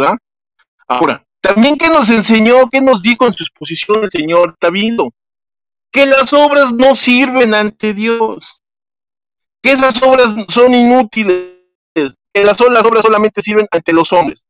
Y si no lo quiere creer, que regrese el video al minuto número 15, porque se lo guardé. Ahora, algo bien importante. Cuando nos toca el texto bíblico, donde nos habla de las obras de la ley, donde dice misericordia, ¿quién tiene poder de cambiar todo? Les pregunto, ¿el hombre o Jesús que es Dios? Jesús siendo Dios tiene el poder de cambiar todo. Dice el Evangelio según San Mateo capítulo 28, verso 18, donde dice, todo poder se me ha dado en el cielo y en la tierra. Él puede cambiar todo. Y si Él mismo te dice, Él mismo, el Señor Jesús te dice, en el Evangelio según Mateo capítulo 25, verso 40, dice, el rey responderá, les digo que cuando lo hicieron con alguno de los más pequeños de estos mis hermanos, me lo hicieron a mí. ¿De qué está hablando acá el Señor? Del amor misericordioso del Padre. ¿Sí? ¿Quién puede cambiar todo? Dios. No me gusta, no me gusta leer la, este, pronunciar la palabra refutado, pero lastimosamente con ese texto bíblico lo tenemos bien refutado. Ahora, en el Evangelio según San Mateo, capítulo 5, versículo 16, fíjense lo que el mismo Señor Jesús les dice. Y él dice que las obras, las obras no sirven ante Dios, que no son buenas, que nada más pueden servir ante los hombres. Él lo dijo. Mateo 5, 16. Hagan pues que brille su luz entre los hombres. Que vean esas buenas obras y por ello den gloria al Padre de ustedes que está en los cielos. Fíjense, den gloria a través de las obras y el amigo dice que no sirven ante Dios, que el Señor reprenda al diablo por mentiroso. ¿Sí? Romanos capítulo 2, versículo 6, fíjense, las obras no sirven, que Dios no va a pagar a cada uno según, este, en la salvación según nuestras obras. ¿Qué es lo que quiero darles a entender, queridos hermanos? Que una vez que somos justificados, una vez que ya tenemos la salvación, ¿sí? Ya tenemos la salvación, no debemos de desperdiciar esta salvación, no debemos de tirarla. Ahora, cuando él toca el texto bíblico de este Filipenses 2.11, le recuerdo, mi estimado, que el texto bíblico ahí ya no está hablando lo que quiere decir, ahí está hablando que toda rodilla se doblará ante el nombre de nuestro Señor Jesucristo, porque dice, porque Dios lo engrandeció y le dio todo nombre, el nombre de nuestro Señor Jesucristo, toda rodilla se doble, en el cielo y en la tierra y en todo lugar, no debe de manipular ni tergiversar la escritura. Y ahí hay un punto y se separa, ya el versículo 12, ¿sí? Algo bien importante. Ahí dice, dice, ocúpense por su salvación. No, no cuiden. Cuando tú te ocupas por algo, ¿qué estás haciendo? Nada más me pregunto, si yo me ocupo por el cuidado de mis hijos, ¿qué voy a hacer? Entonces nada más me voy a ocupar de mis hijos, pero no los voy a cuidar. No, hombre, o sea, qué, qué, pensamiento tan pobre, con todo respeto. En Romanos capítulo 2, versos nos dice, Él, Dios, pagará cada uno de acuerdo según sus obras. Pero el hermano dice que no sirven. El hermano dice que las obras no sirven, ninguna obra sirve. Bueno, pues la escritura ya lo está refutando él con justa y gran fuerza. Romanos 2.13. Porque no son justos ante Dios los que escuchan la ley, sino los, los que la cumplen. Regresamos a lo que es el Antiguo Testamento. Esos eran los justos. Y hacían esas obras, y aún así no se salvaban. Pero ya las obras que vienen adelante, en Romanos 6.15 dice, díganme, perdón, Romanos 6.22, ahora en cambio, siendo libres del pecado y sirviendo a Dios, trabaje por su propia santificación y al final está la vida eterna. Fíjense, si Pablo en este momento te está diciendo que trabajas por tu propia santificación y en este Filipenses te dice que procures, yo creo que el hermano no lo entiende, no lo comprende, no se dan cuenta que las obras que el Señor quiere que hagamos sirven para que nosotros no nos pierdamos y alcancemos también la salvación. Primera Corintios capítulo 6, verso 9. Perdón, 15. Primera Corintios 15, versículo 58. Dedíquense a la obra del Señor en todo momento, conscientes de que en Él no será estéril su trabajo. Fíjense, a la obra del Señor. El Señor dice que no sirven las obras. ¿A quién le vamos a creer? Ya que habla y menciona al gran erudito Samuel Pérez Mito, ¿no? Le cree más a ese gran erudito, a esa gran persona, le cree más, más que a las Sagradas Escrituras, más que al Espíritu Santo que está dando acá su mensaje. Le recuerdo que dice Jeremías 17:5, maldito hombre que confía en otro hombre, ¿eh? porque pone sus esperanzas vanas. Bendito el hombre que confía en el Señor. ¿Mm? Segunda carta a los Corintios, capítulo 5, versículo 10. Fíjense, queridos hermanos, ¿eh? Nada más dense cuenta cuán, cuánto los han engañado. Segunda Corintios 5, 10 hemos de comparecer ante el tribunal de Cristo para recibir lo que se ha merecido en la vida, en esta vida presente, tanto sean por sus obras buenas o sus obras malas. Si las obras no sirven, entonces Pablo está loco. Acá en la segunda, los Corintios. Segunda, los Corintios, capítulo 11, verso 5, verso 15, perdón. Pero su fin será que merecen sus obras. A ver, si Pablo ya te dijo que ya eres justificado por la sola fe, ¿por qué tu fin será lo que merecen tus obras?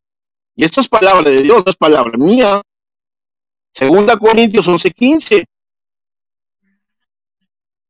Gálatas capítulo 5, verso 6.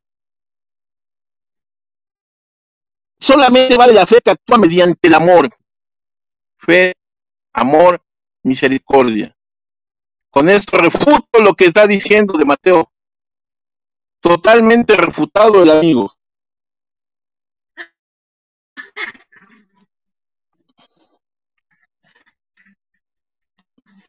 Colosenses capítulo 1, versículo 10.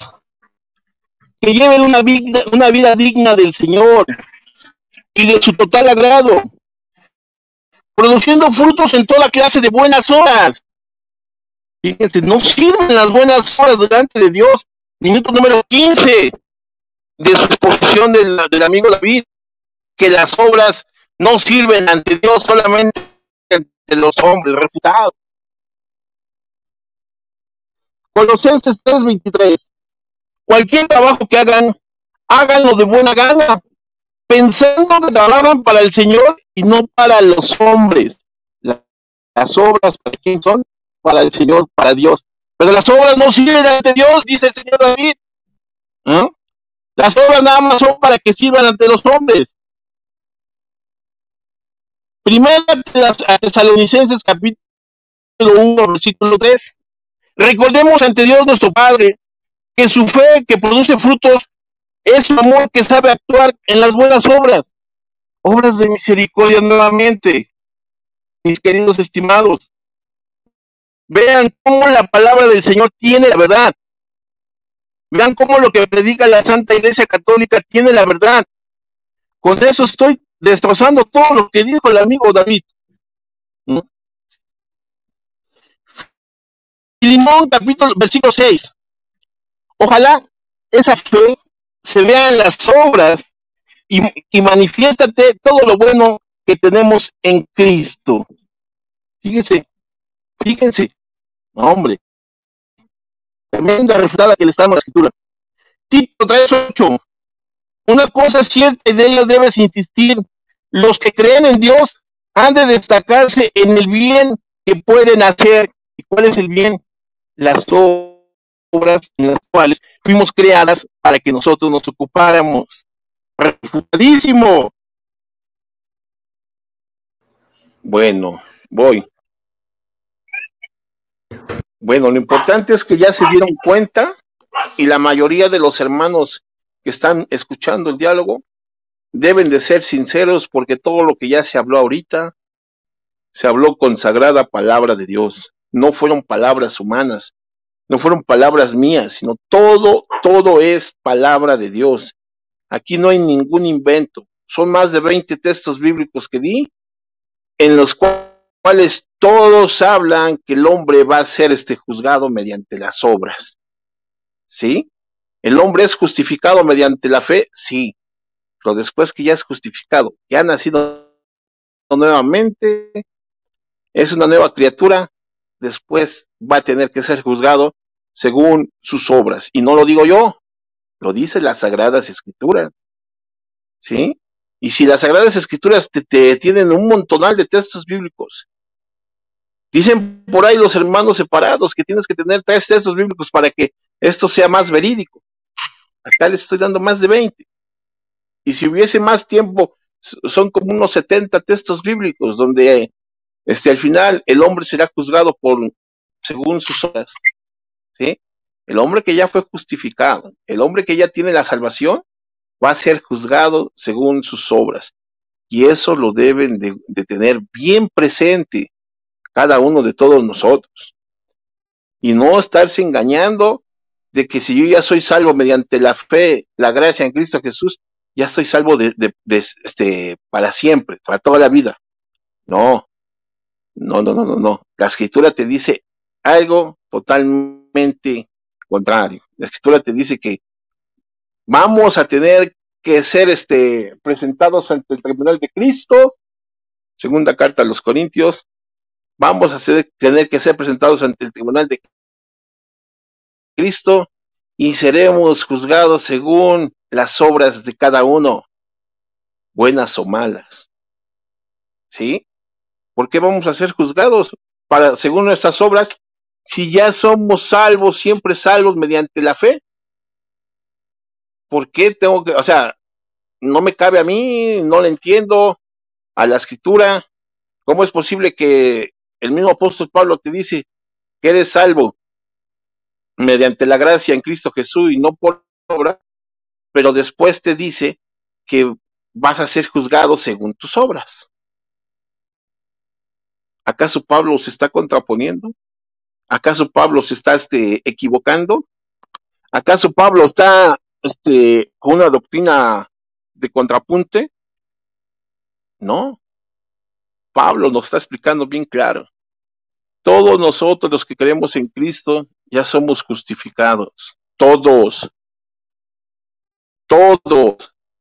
Pero eso no quiere decir que porque ya nos justificaron de esos preceptos antiguos, no quiere decir que ya tú ya tienes la salvación ya. No. La misma escritura te dice que serás juzgado según tus obras. Ahí concluyo. Sale. Ok, paramos el tiempo. Iniciamos. Gracias a Pérez Reynoso por, el, por su exposición. Pues David tendrá que refutar estos cinco minutos que alcanzó a escuchar. Este, tendrá que hacer de ahí su contrarrefutación. Eh, vamos a bloquear el, micro de Reynoso para que no se oiga ruido. Y David, nos indicas cuando esté listo para iniciar con tu listo. Totalmente listo, vamos. Sale. Bueno, bueno, vamos a comenzar rápidamente. Estaba haciendo memoria de algunas cosas que dijo, incluso adelanté el, adelanté el, debate. En la, o sea, perdón, retrocedí en algunas cosas que dijo. Él dice que yo dije que las obras no sirven para nada, que son inútiles pero él no habló en qué contexto yo lo dije. Yo dije que las obras no sirven para recibir la salvación. Jamás dije que son inútiles en el sentido de que no hay que hacer buenas obras. Por lo tanto, mi oponente ha mentido y ha puesto palabras en mi boca para sacar fuera de contexto lo que yo he dicho. Por lo tanto, al decir una mentira, queda totalmente refutado, porque yo lo, lo que yo dije es que nos sirven para recibir la salvación, porque en Romanos 5.1 hay una fe monádica, una fe única, una sola fe, y aparece la conjunción consecutiva un, la cual eh, une el verbo eh, eh, justificado con el verbo fe, de tal forma que no se puede agregar ningún tipo de obra para ser justificado. Por lo tanto, la justificación solamente es por medio de la fe, sola fe monádica. Por lo tanto, mi oponente queda totalmente refutado. Segunda refutación. Otra refutación es que él utiliza Efesios 2.10 diciendo en su en refutación, ahí está, para buenas obras, pero mi oponente no cree que hay que hacer buenas obras. A ver, acá no se habla para recibir la salvación, brother. Acá lo que se, habla en, en Efesios 2.10 es que a causa de ser salvos vamos a hacer buenas obras. ¿Por qué? Primero debemos de notar eh, debemos de notar cuál es el orden que utiliza el apóstol Pablo en Efesios.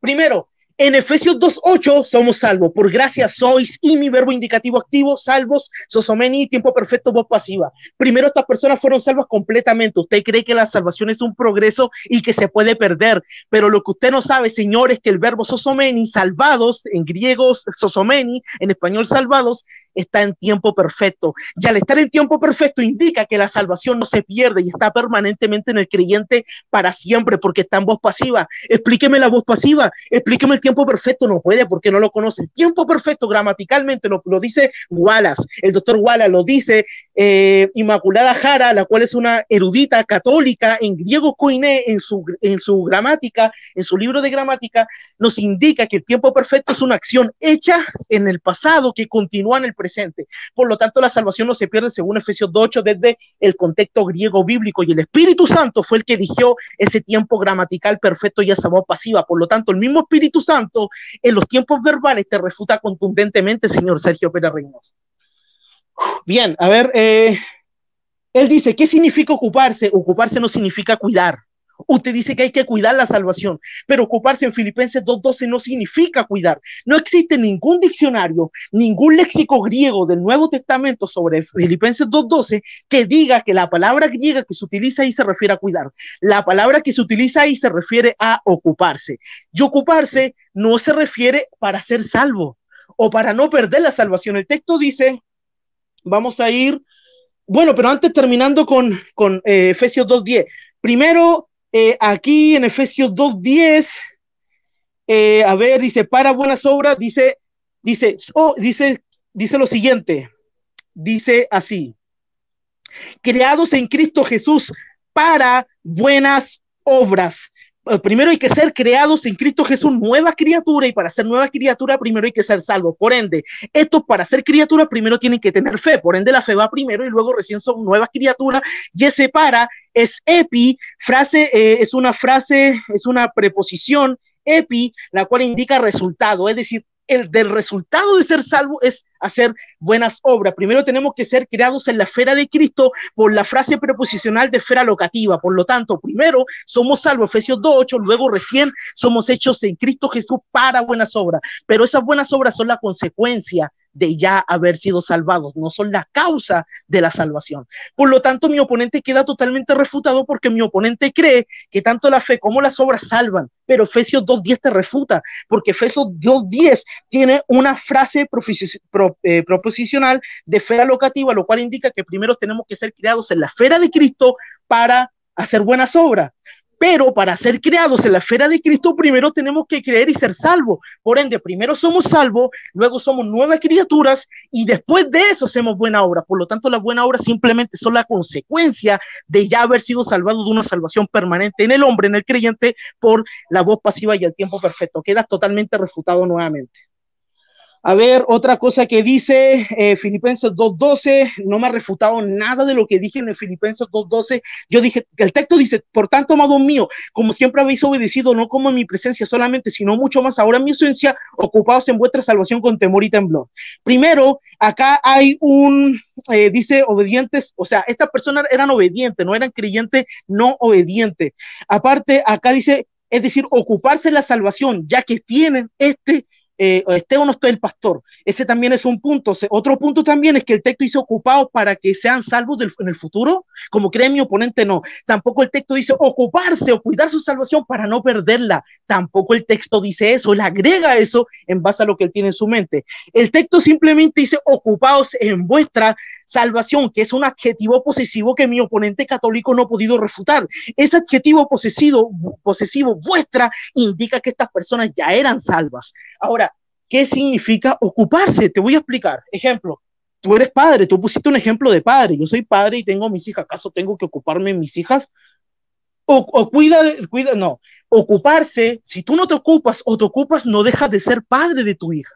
Te ocupes o no te ocupes, sigue siendo padre. Te ocupes en las obras de tu salvación o no te ocupes, sigue siendo salvo. Aunque eh, obviamente estos creyentes sí van a ocuparse porque en el versículo siguiente dice que tanto Dios pone el querer como el hacer. Ahora, tú tienes que explicarme el adjetivo posesivo vuestra que aparece en Filipenses 2.12. No lo has podido explicar porque simplemente no los conoces. Por lo tanto, también queda totalmente refutado porque aquí no está hablando ocuparse para recibir la salvación en un futuro, ocuparse en su salvación progresiva, ocuparse en la salvación para no perderla. El texto jamás dice eso. El texto dice ocuparse en vuestra salvación, que obviamente ya tiene por el adjetivo posesivo, por lo tanto queda completamente refutado.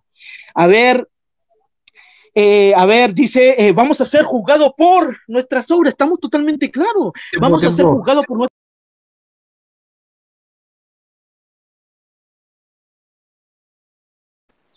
¿Aló? Ya ahora sí. Sí. Ya bueno, bueno, en base al tomó de segunda de Corintios donde habla, dice que todos tenemos que ser juzgados ante el tribunal de Cristo. Estamos claros, pero el texto no dice que cuando son juzgados por el tribunal van a ser salvos por obras. El texto no dice eso, no hay ningún texto de la Biblia donde hable del juicio y diga que por el juicio de las obras van a ser salvos. Por lo tanto, mi oponente queda totalmente refutado porque los textos no dicen van a ser salvos por, eh, van a ser juzgados por obras y conforme a sus obras van a ser salvos. Los textos no lo dicen. Mi oponente eh, añade ese pensamiento a los textos que los textos no, dicen. Pero vamos a ir a primera bueno, vamos a Primera de Corintios 3, que es un texto que utilizan esto mi oponente, no para el purgatorio, en el cual el purgatorio ni siquiera se habla y primero vamos a ver acá en el versículo 7 dice que eh, el crecimiento lo da Dios, en el versículo 6 dice Apolo regó, ¿no? Yo planté, etcétera. Acá está hablando de obra, estas personas obraron, porque somos colaboradores de Dios. El texto dice somos colaboradores para recibir la salvación.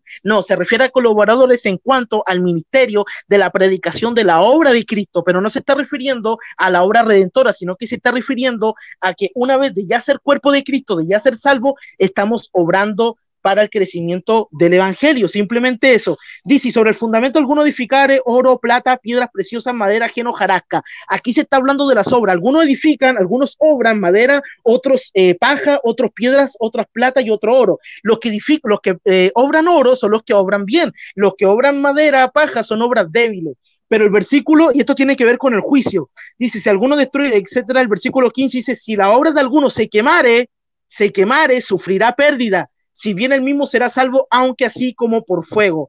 Y la obra eh, fuego se refiere a juicio según los mismos eruditos católicos de Salamanca. Los eruditos católicos de Salamanca, que son expertos, que están ligados al Vaticano y que no pasan a llevar su magisterio, explican que la frase pasar como por fuego en el contexto se refiere a juicio, no al purgatorio en sí, sino que a juicio es lo que nosotros vemos a un juicio. Pasará por ese juicio las obras aunque serán salvos, aunque como por fuego. Es decir, que lo, y, ojo, desde el griego pasa por fuego tanto el que obró bien como el que, el que obró mal, tanto el que obró oro como el que obró paja. Por lo tanto, el que obra paja, el que no obra tan bien, igual es salvo, aunque como por fuego, porque el versículo 15 dice, si él mismo será salvo, aunque así como por fuego. Por lo tanto, el obrar no tan bien como otros no te va a hacer perder tu salvación. Y te refuto contundentemente con tu mismo tribunal, porque acá se está hablando de un tribunal, de un juicio, y a pesar de que estas personas no obraron tan bien como los otros, también se van a salvar.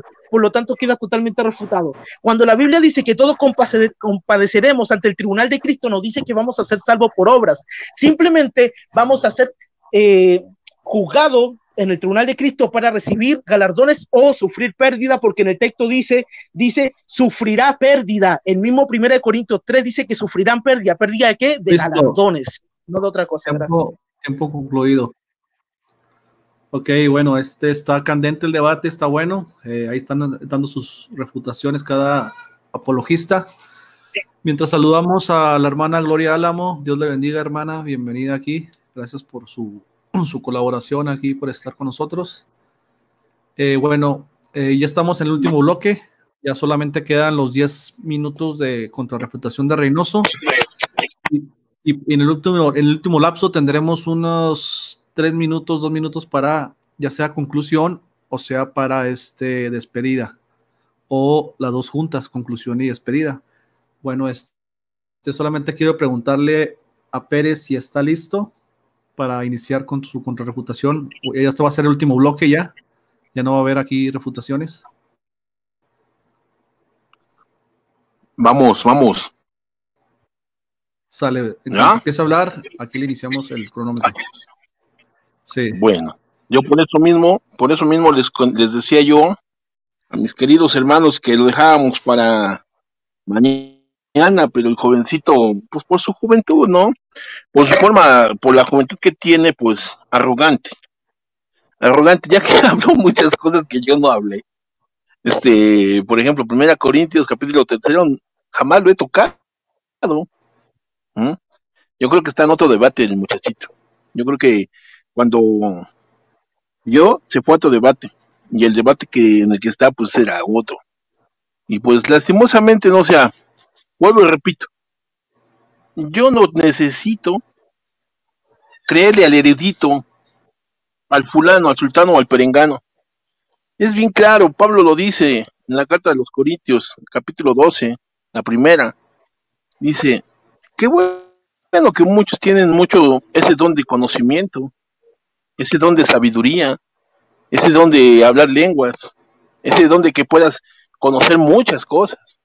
Pero yo prefiero tener un don de profecía, para que el más humilde de mis hijos pueda escuchar lo que yo hablo y pueda entenderlo. Es lo que dice Pablo. Pueda entenderlo. Fíjense, llega a haber varios hermanos que ni siquiera tienen este y la primaria acá en México. Y le van a hablar de un erudito que ni siquiera va a entender. ¿eh? Y cómo, cómo manipulan los, los, este, los textos bíblicos según el, el amigo cómo se manipulan para decir, está totalmente refutado. Está totalmente refutado. Dice que, que yo no esté, que no le demostré nada. Tiempo Pérez.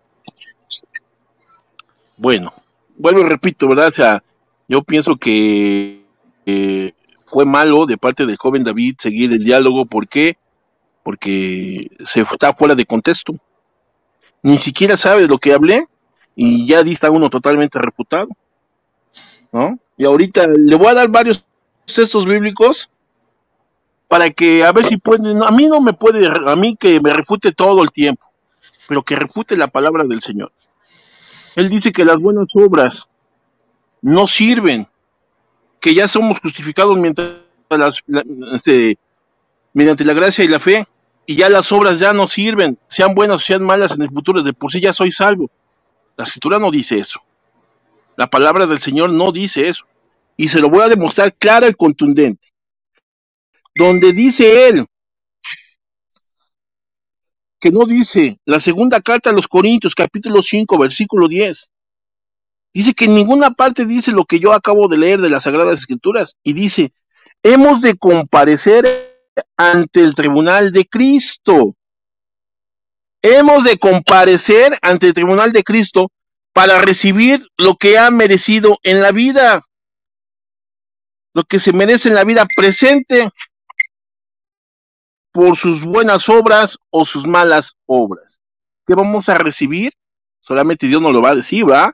Ante el tribunal de Cristo. Él dice que no. La palabra del Señor no es mentirosa. Segunda carta a los Corintios, capítulo 11, versículo 15.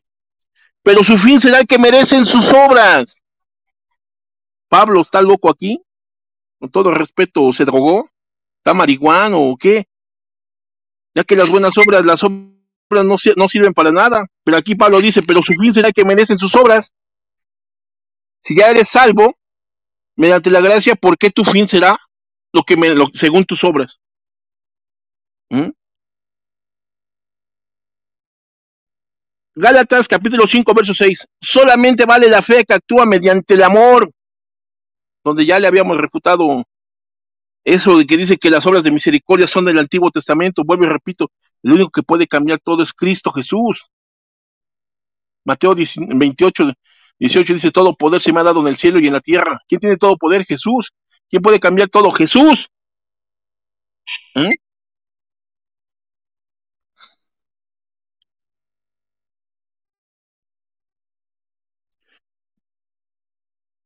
Filimón, versículo 6. Oigan, queridos hermanos, ojalá esa fe se vea en las obras y, manifiesten todo lo bueno que tenemos en Cristo. Para el amigo las, las obras no sirven. Primera Timoteo capítulo 6, verso 18. Que practiquen el bien, que sean ricos en buenas obras. De esta forma conseguirán la vida eterna. ¿Cómo van a conseguir la vida eterna? Haciendo las buenas obras y ya son salvos mediante la gracia y la fe. ¿Se volvió a equivocar el apóstol Pablo? ¿O no lo conoce el joven David?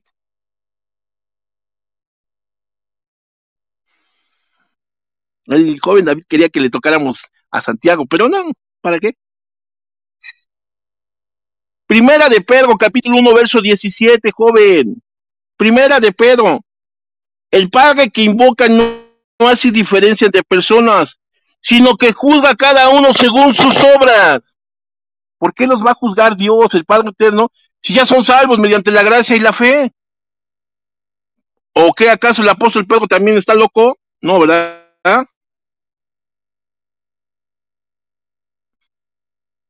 Apocalipsis 2.23.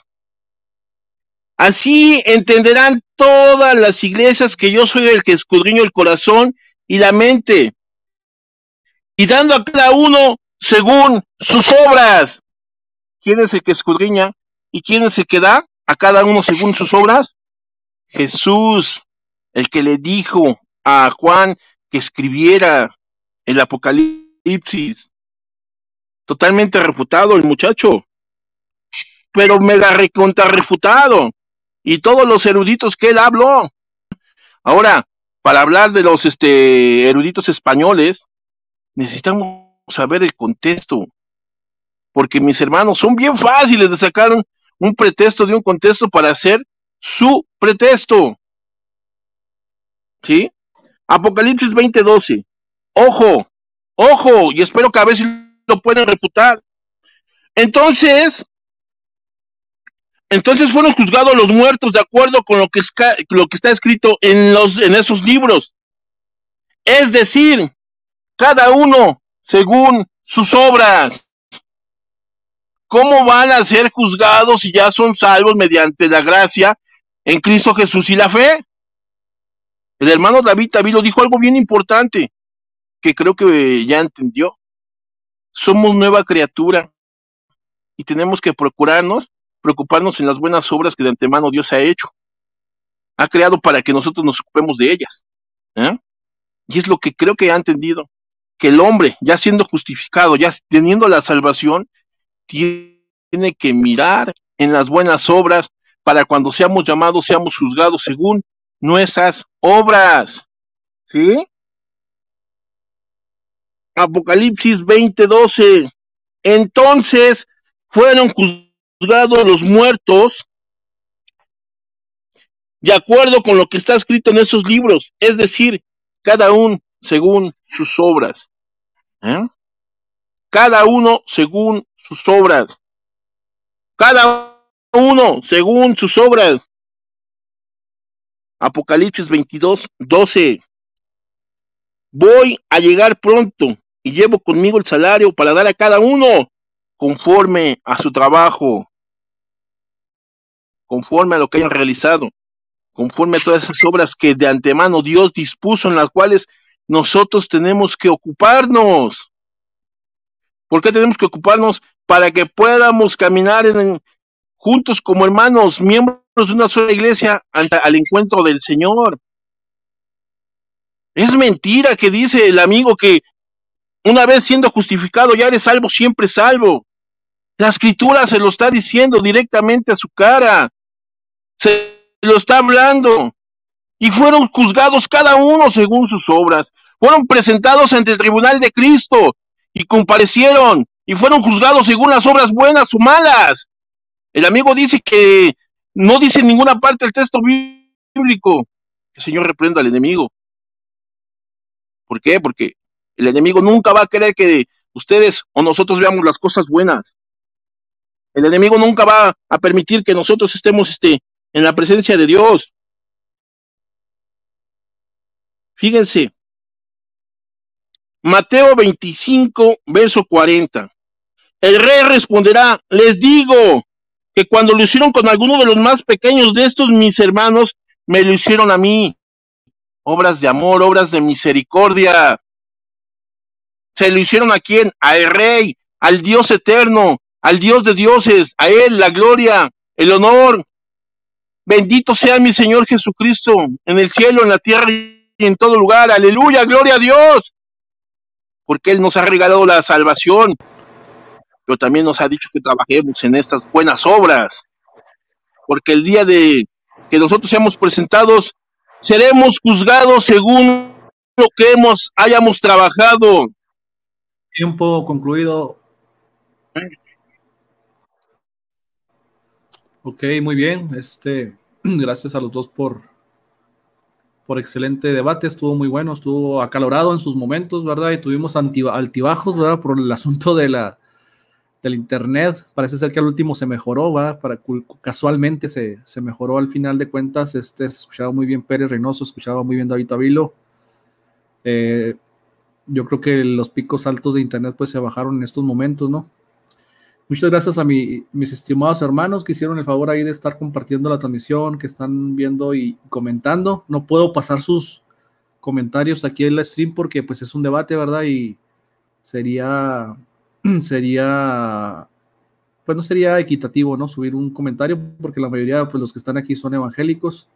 Entonces hay que respetar al, al, expositor católico. En otros grupos se acostumbra ¿verdad? de que cuando hay un debate eh, de tendencia, ya sea de algún grupo, pues a veces suben, suben comentarios y esos comentarios pues a veces ayudan a, la, a uno de los dos. Y en este caso, pues en, mi grupo pues preferimos hacerlo de manera equitativa, que no haya preferencia por ninguno de los dos, para hacerlo neutral, para hacer un, eh, un debate limpio, un debate donde se, donde se expongan sus puntos muy bien los dos excelentes exposiciones de los dos. No sé si yo aquí en el formato tengo nada más hasta aquí, hasta la contrarrefutación. No sé si quieran una conclusión o ya simplemente despedirse. Eso ya lo, ya lo deciden entre los dos. Les abro el micrófono para que, para que digan, pero sería breve, ¿no? De tres minutos cada uno, ya sea despedida o, o ya sea conclusión. Una conclusión me refiero a, a, bueno, yo concluyo esto, ¿no? El debate, saco esto, esto y esto y esto y esto y esto. Y al final, este, el, al final la, despedida o simplemente ya dicen, bueno, pues ya, ya terminó el debate y hacemos la, y hacemos la despedida sin mencionar absolutamente nada acerca del debate. No sé qué opinen. Bueno, este, pues, Tabilo, desactiva tu micro. Bueno, hermanos, yo agradecido con el de arriba, con nuestro Dios Todopoderoso por haber compartido con mi, mi gran hermano David Iván Tabilo, mi amigo, bueno, no sé si me, si me considera el amigo o hermano, pero yo lo aprecio bastante, como si fuera mi hermano pequeño. Este, un gran gusto dialogar con David y yo la, la verdad sí me retiro porque ya van a dar las 4 de la tarde acá. Yo entraba yo al, al chambas, al trabajo a las a las tres y media, ¿no? Pero ahora le, le, hago caso y tengo que respetar lo que dije con David. Y ahora dicen que, que las piensan porque las ocupó. Yo sí, no me arrepiento y no me da vergüenza, les comparto algo poquito, ¿verdad? No me da pena, no me da vergüenza y soy un testimonio vivo de cómo el Señor Jesús me liberó del mundo de la drogadicción, un mundo muy feo, muy, muy horrible. Eh, estuve en el penal de Puebla, acá en San, Miguel, y gloria a Dios que él, él nos ha liberado, nos ha llamado a ser unas nuevas personas. Bendiciones, Dios me los cuide, me los cuide, los proteja. En el poderoso nombre de nuestro Señor Jesucristo, Dios los cuide a cada uno y me despido. Bendiciones, David. Amén, amén. Bendiciones, Sergio. Bueno, amén. Bueno, yo también me despido, ¿no? Bueno, eh, muchas gracias a los hermanos que estuvieron aquí escuchando y a los que van a escuchar. Les pido disculpas por mi internet. Eh, tuve muchos problemas de internet, incluso desde antes de que comience el debate. Yo, cuando estaba hablando con Juan Peña, antes de, la antes de activar la transmisión para que se ponga en directo, Juan Peña era testigo de cómo se me caía la internet, y en mi propia exposición se me caía la internet, y Sergio igual tuvo algunos problemas de internet. Eso, eso se, le pedimos disculpas, se nos sale de las manos, ¿no? Eso ya no es algo que nosotros queramos, al contrario, no nos gustaría tener una buena internet. Eh, y bueno, sí, no, claro, con Sergio me llevo bien, yo también lo considero, lo estimo, ¿no? Me cae bien. Eh, estos debates, ¿no? O sea, en el debate él se va a comportar un poco rudo, aunque con respeto hacia mi persona, yo igual, ¿o no? Con fuerza, pero, yo me entré suavecito, yo debatí hoy día más suavecito, ¿no? Pero igual con contundencia, o sea, suave en el sentido de no estar gritando tanto, ¿no? Pero con argumentos firmes y creo que eso es lo que hace un debate edificante, ¿no? Un debate donde no se va a hacer ad hominem, o sea, atacar a la persona, sino que atacar el argumento. También les pido disculpas por una parte donde no escuché muchas cosas que dijo Sergio, pero creo que en mis últimos 10 minutos respondí a varios argumentos de él y si di otros textos, no es porque lo haya tocado, sino que van de la mano de textos que él tocó. Eh, y bueno, igual gracias a mi hermano Juan Peña por eh, su tiempo, ¿no? Por abrirnos las puertas de su canal. Les pido disculpas también a mi hermano Juan Peña por mi internet, pero creo que el debate estuvo muy bueno. A los que recién estaban llegando, les pido por favor que escuchen el debate completo. Escuchando el debate completito, se van a dar cuenta de los argumentos, si se tocaron, quién refutó, quién los tocó, entonces todo eso es bueno, ¿no? Y bueno, y, por último, este debate tiene que ser para la gloria del Señor. Eh, le mando saludos también a mis hermanos, eh, bueno, primeramente le doy gracias a Dios, ¿no? Por haber estado en este debate, que fue un poquito de la nada, y aparte que fue con muy mal internet, pero creo que igual honramos el nombre del Señor. Bendiciones también para mi hermano Edwin, Bravo, mi hermano Winston Medina, mi hermano Eduardo Gutiérrez, mi hermano Dani Córdoba, mi hermano Salvador Barragán, mi hermano Johnny Soye y todos mis hermanos que me acompañaron o que me van a escuchar en este debate. Gracias, mi hermano Juan, adelante. Sale, bueno, pues simplemente agradecer a Dios, ¿verdad? Que es el que nos da la vida y el que, el que hace posible que nosotros podamos estar aquí. Pues aquí tienen su canal, ¿verdad? El, su humilde canal del Predicador Expositivo, este, para que nos ayuden a compartir, ya sea con un like, este, o compartiendo en las redes sociales para que este debate llegue a, o este diálogo llegue a más personas, ¿verdad? Y, y pues sea edificación para, para ambos grupos, para los grupos este, ya sea católicos o angélicos. Y pues a pesar de que hubo deficiencias ahí en el internet, pues se escucharon bien los argumentos, ¿no? O sea, se quedó claro el asunto, la postura de cada uno quedó muy plasmada, muy, muy bien expresada. Y simplemente pues decirle a todos los que vieron y a los que van a ver el video, pues que, que apoyen y sin más que agregar, pues que Dios me los bendiga, ¿no? La gracia y la paz del Señor sea con todos ustedes. Les saluda a su amigo y hermano en Cristo, Juan Peña, eh, desde la Ciudad de México, desde Chihuahua, Chihuahua. Saludos a todos y no tienes que nada que agregar, hermano, pues ya concluimos este, este Amén. Ahí nomás, hermanito. Gracias, gracias. Sale, bendiciones a todos y Dios me los cuide.